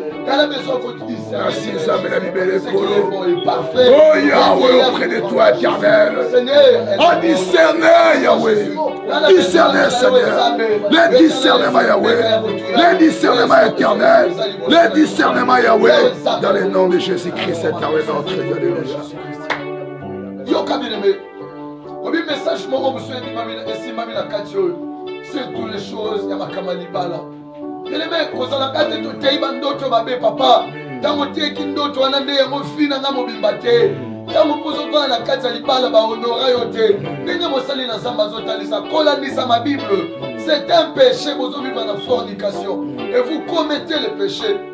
nde omona ozoluka nzambe nzambe azwa agir te papa bitumba maladi badouleur koto papa ezosimba te nalotaka bandoto bazolanda nga papa nalali boye nazolota ndoto nabatami me baamona nga okomona mate ndenge nini koyosana libala oyo oza sécurise te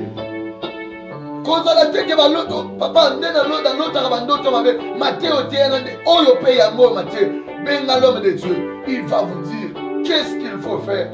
solola na mobali na yo benga mosali na nzambe il va vous orienter yaya toza mpo na bit moko ya kobongisa contact ya bato na nzambe ya koprepare eglise na nzambe mpo na rencontre ya mokonzi ntango akozongwa nalingi esika ozali ozotya maboko na likolo ya motu l'homme de dieu epapile il va nous bénir alléluia seigneur naye kokaba libota oyo na maboko na yo nzambe ya nguya nzambe ya lola nzambe makoki mazanga ndelo mema krenti na yo na motema ya moko na moko yawe natali joseph soki joseph akweyaka na mwasi ya potifar akokaka kotikala kokoma premier ministre te akokaka kokoma yawe korenye na egypte te alingaki azwa faveur ya mwasi ya potifar alingaki abanda kofanda na ndako ya potifar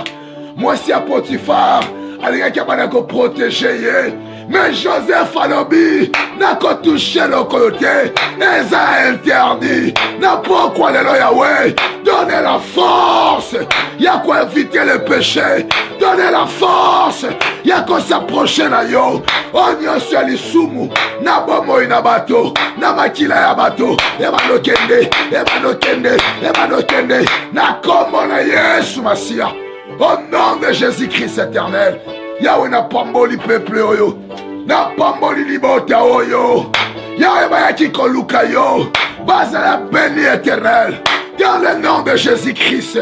grâce na yo Yahweh, ngolu na yo Nzambe, et se répandre na vie ya moko na moko, na bomoi ya moko na moko, na kati ya libondeli oyo, oyo azalaki mobeli nzambe ya bika mokangami akangolama poso oyo nzambe sala biso ngolu éternel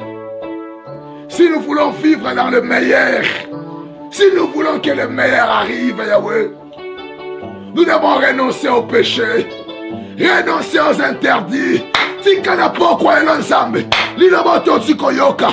epesa makasi epesa mpifo emema krente na yo na mitema ya bana na yo na nkombo na yesu masiya topamboli jour na lelo topamboli semene oyo topamboli nyonso eternel walalaki biso de près de loin apambwama na nkombo na yesu ngolu na ye efanda na bomoi na ye kokisa baposa ya motema na ye dans le nom puissant de jésus christ qui est notre seigneur et sauveur de tolobi biso nyonso merci seigneur jésus christ nazareth seigneur jésus christ amen amen amen Là au Seigneur, que Dieu vous bénisse. les abonnements bien aimé tozobetaka sete moko confinement ekomi déjà na suka alors communiqué na biso tozopesa mingi na lombango mpenza eza boye bien aimé s'il vous plaît s'il vous plaît oyo communiqué ya liboso ezoconcerne moto nyonso oyo oza na kati ya irlande awa na bandeko oyo esi babengi biso na baoyo nano babengi te parfois azoloba bon peut-être peut-être non tozopesa invitation oyo bien aimé s'il vous plaît kala mingi te awa oyo oh, semaine ya suka déjà baeglise ya rassemblement ezobanda mais cela ne va pas nous empêcher que tosala ne fût que rassemblement ya quelque temps je pense que l'homme de dieu apesaki communiqué yango lisusu lobi na prière ya minuit alors que yango ekopermettre te ekoempêche te pardon que tosangana ne fût avec quelqu'un minimum de personnes même na bakilte na biso mpe ya awa soki oza disponible olingi ovivre mpe miracle intervention benga l'homme de dieu il va vous, il va vous enregistrer et même le dimanche prochain okoya kosangana na biso mpe en pleine émission na kati ya studio ovivre mpe bénédiction na nzambe ce n'est pas un problème deuxième communiqué eza ke tozobengisa bandeko nyonso oza na kati ya irlande oza na mboka oyo irlande bien aimé tozobengisa yo s'il vous plaît ngonga ekoki oluka nzambe oyebi ntango verite etelemaka soki botelemi mpo bolanda verite te ekomaka na moma moko kondanation ya verite ane kolanda bino nomoni jésus atelemi na israel abi mpona na ye nayaki epai na bino me lokola bino bososoli te ke nga bosolo ifo bolanda bozela bokomona nini ekokomela bino tanga yango na bible tu vas comprendre c'est que nzambe azalaka juste ntango ayebi ke atelemisi cité de refuge mpo na délivrance na yo mm. yo yo oyoki yango omoni yango ofule yango apie osabote yango viendra ye moment nzambe akotuna yo viendra ye moment yaya tozokondane yo te toli toculpabilité toculpabilise yo te mais tozopesa yo invitation tozopesa yo invitation biso toza eglise cité de refuge toza la chaîne cité de refuge te mais toza église cité de refuge oyo ekambami pa pasteur caleb tukumbana je pense que d'ici la semaine oyo tokozwa déjà basensibilisation oyo wapi ekobanda kotalisa na bisika nini lolenge nini okozwa bis mpo na koya awa kokutana na biso epuis baadresse esika église ezwami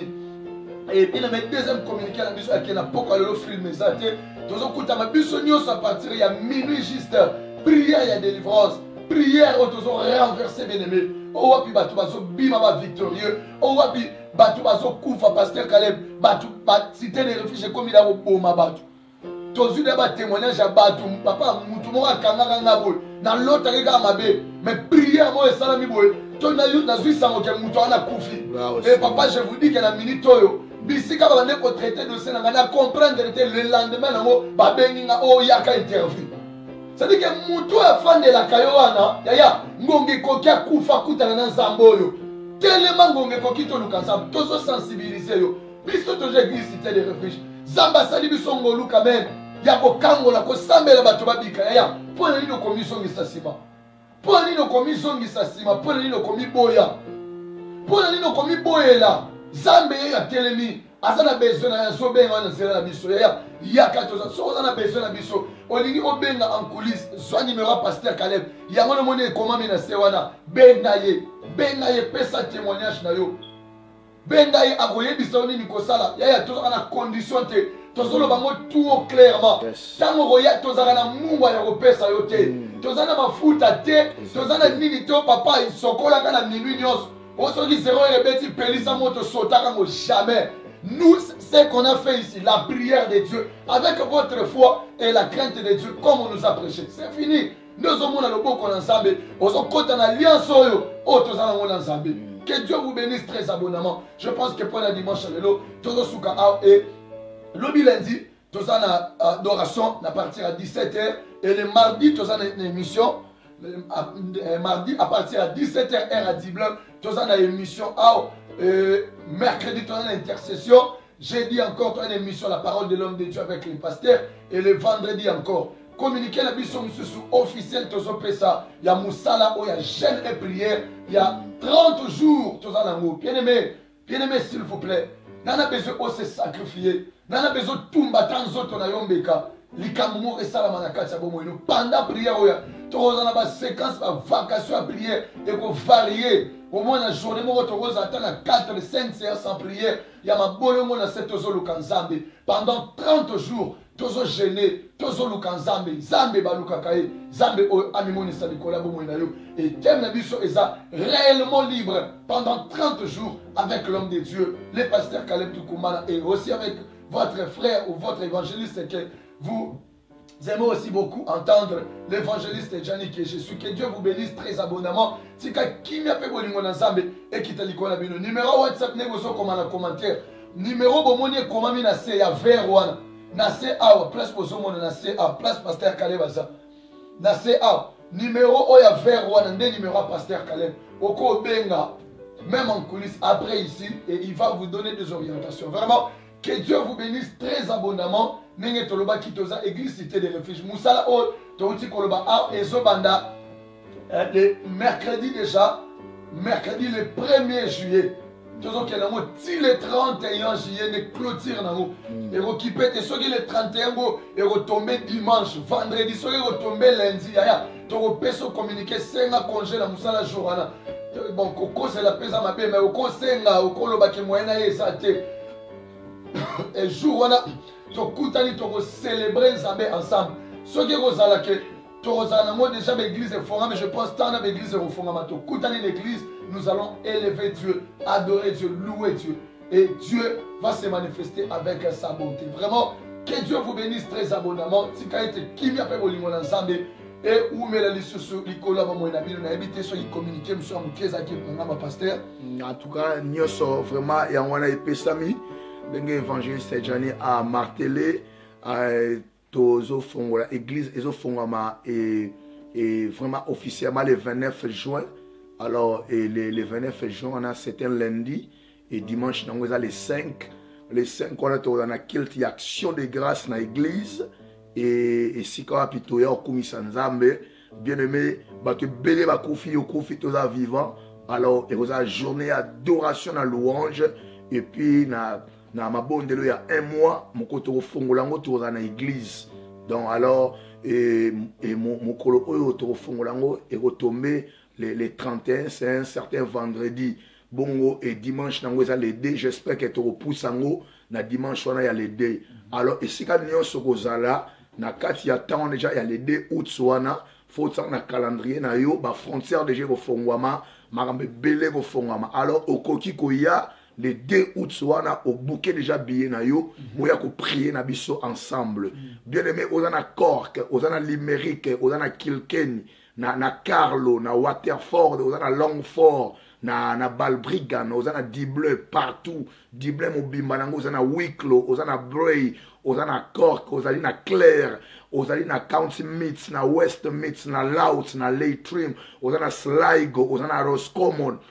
donc bisika nyonso oza na golwe bien aimé yaka oza na dondol kozali e na drogeda partout oza na kari conchour na, na kati ya ville oza na losk oza bisika nyonso ozali bien aimé dans le seigneur toza na bis ezalaka 24 heures sur 24 heures d'ailleurs à partir ya lundi ya le 29 juin wana bakompagnie ya bis nyonso ekobanda kosala to na bis moko ya vert ezalaka moins cher eza 5 euro ekomisa yo ntina centre ville ya porte luche à partir ya centre ville wana eza quelques minutes na église alors yango nde tolingaki tobeta se te boya massivement oa na irlande ofanda na ndako wana déception esika okende eza te badecevoir yo e, eloko moko esalema yaka na porte liche bien aimé toluka elongi na nzambe wana ezali moke tokoya kobakisa likolo alors le, le 2 août ebuke biye na yo tiango na kati ya agenda boya massivement bien aimé ekozala service d'action de grâce ya ya ya un mois mobima mabonde parce que ezali na batémoignage ekozala ebele ndenge évangéliste auti loba to na baséance ya prière par jour ya mabolongo na se ntolo na se koluka elongi na nzambe alors c'est préparé jour wana bien aimé c'est préparé jour wana merci beaucoup mm -hmm. Merci beaucoup vraiment que Dieu vous bénisse. Je pense que euh, tokomi vraiment na suka ya mayangani na biso Zambe oyo tosanganaki apambola bino baye nyonso bozwaki mosala oyo na motema na bino. N'oubliez pas de partager yango obima kobosana te kopartage yango bandeko mosusu bayoka mpe message oyo eteyami awa ekozala lipamboli mpo na bango nyonso vraiment que dieu vous bénisse soki mokonzi yesu azongi te tozokutana déjà na minuit na prière na biso ya délivrance mpe ya miracle vraiment que dieu vous bénisse quant à nous nous vous disons déjà au revoir et bye bye que dieu vous bénisse merci beaucoup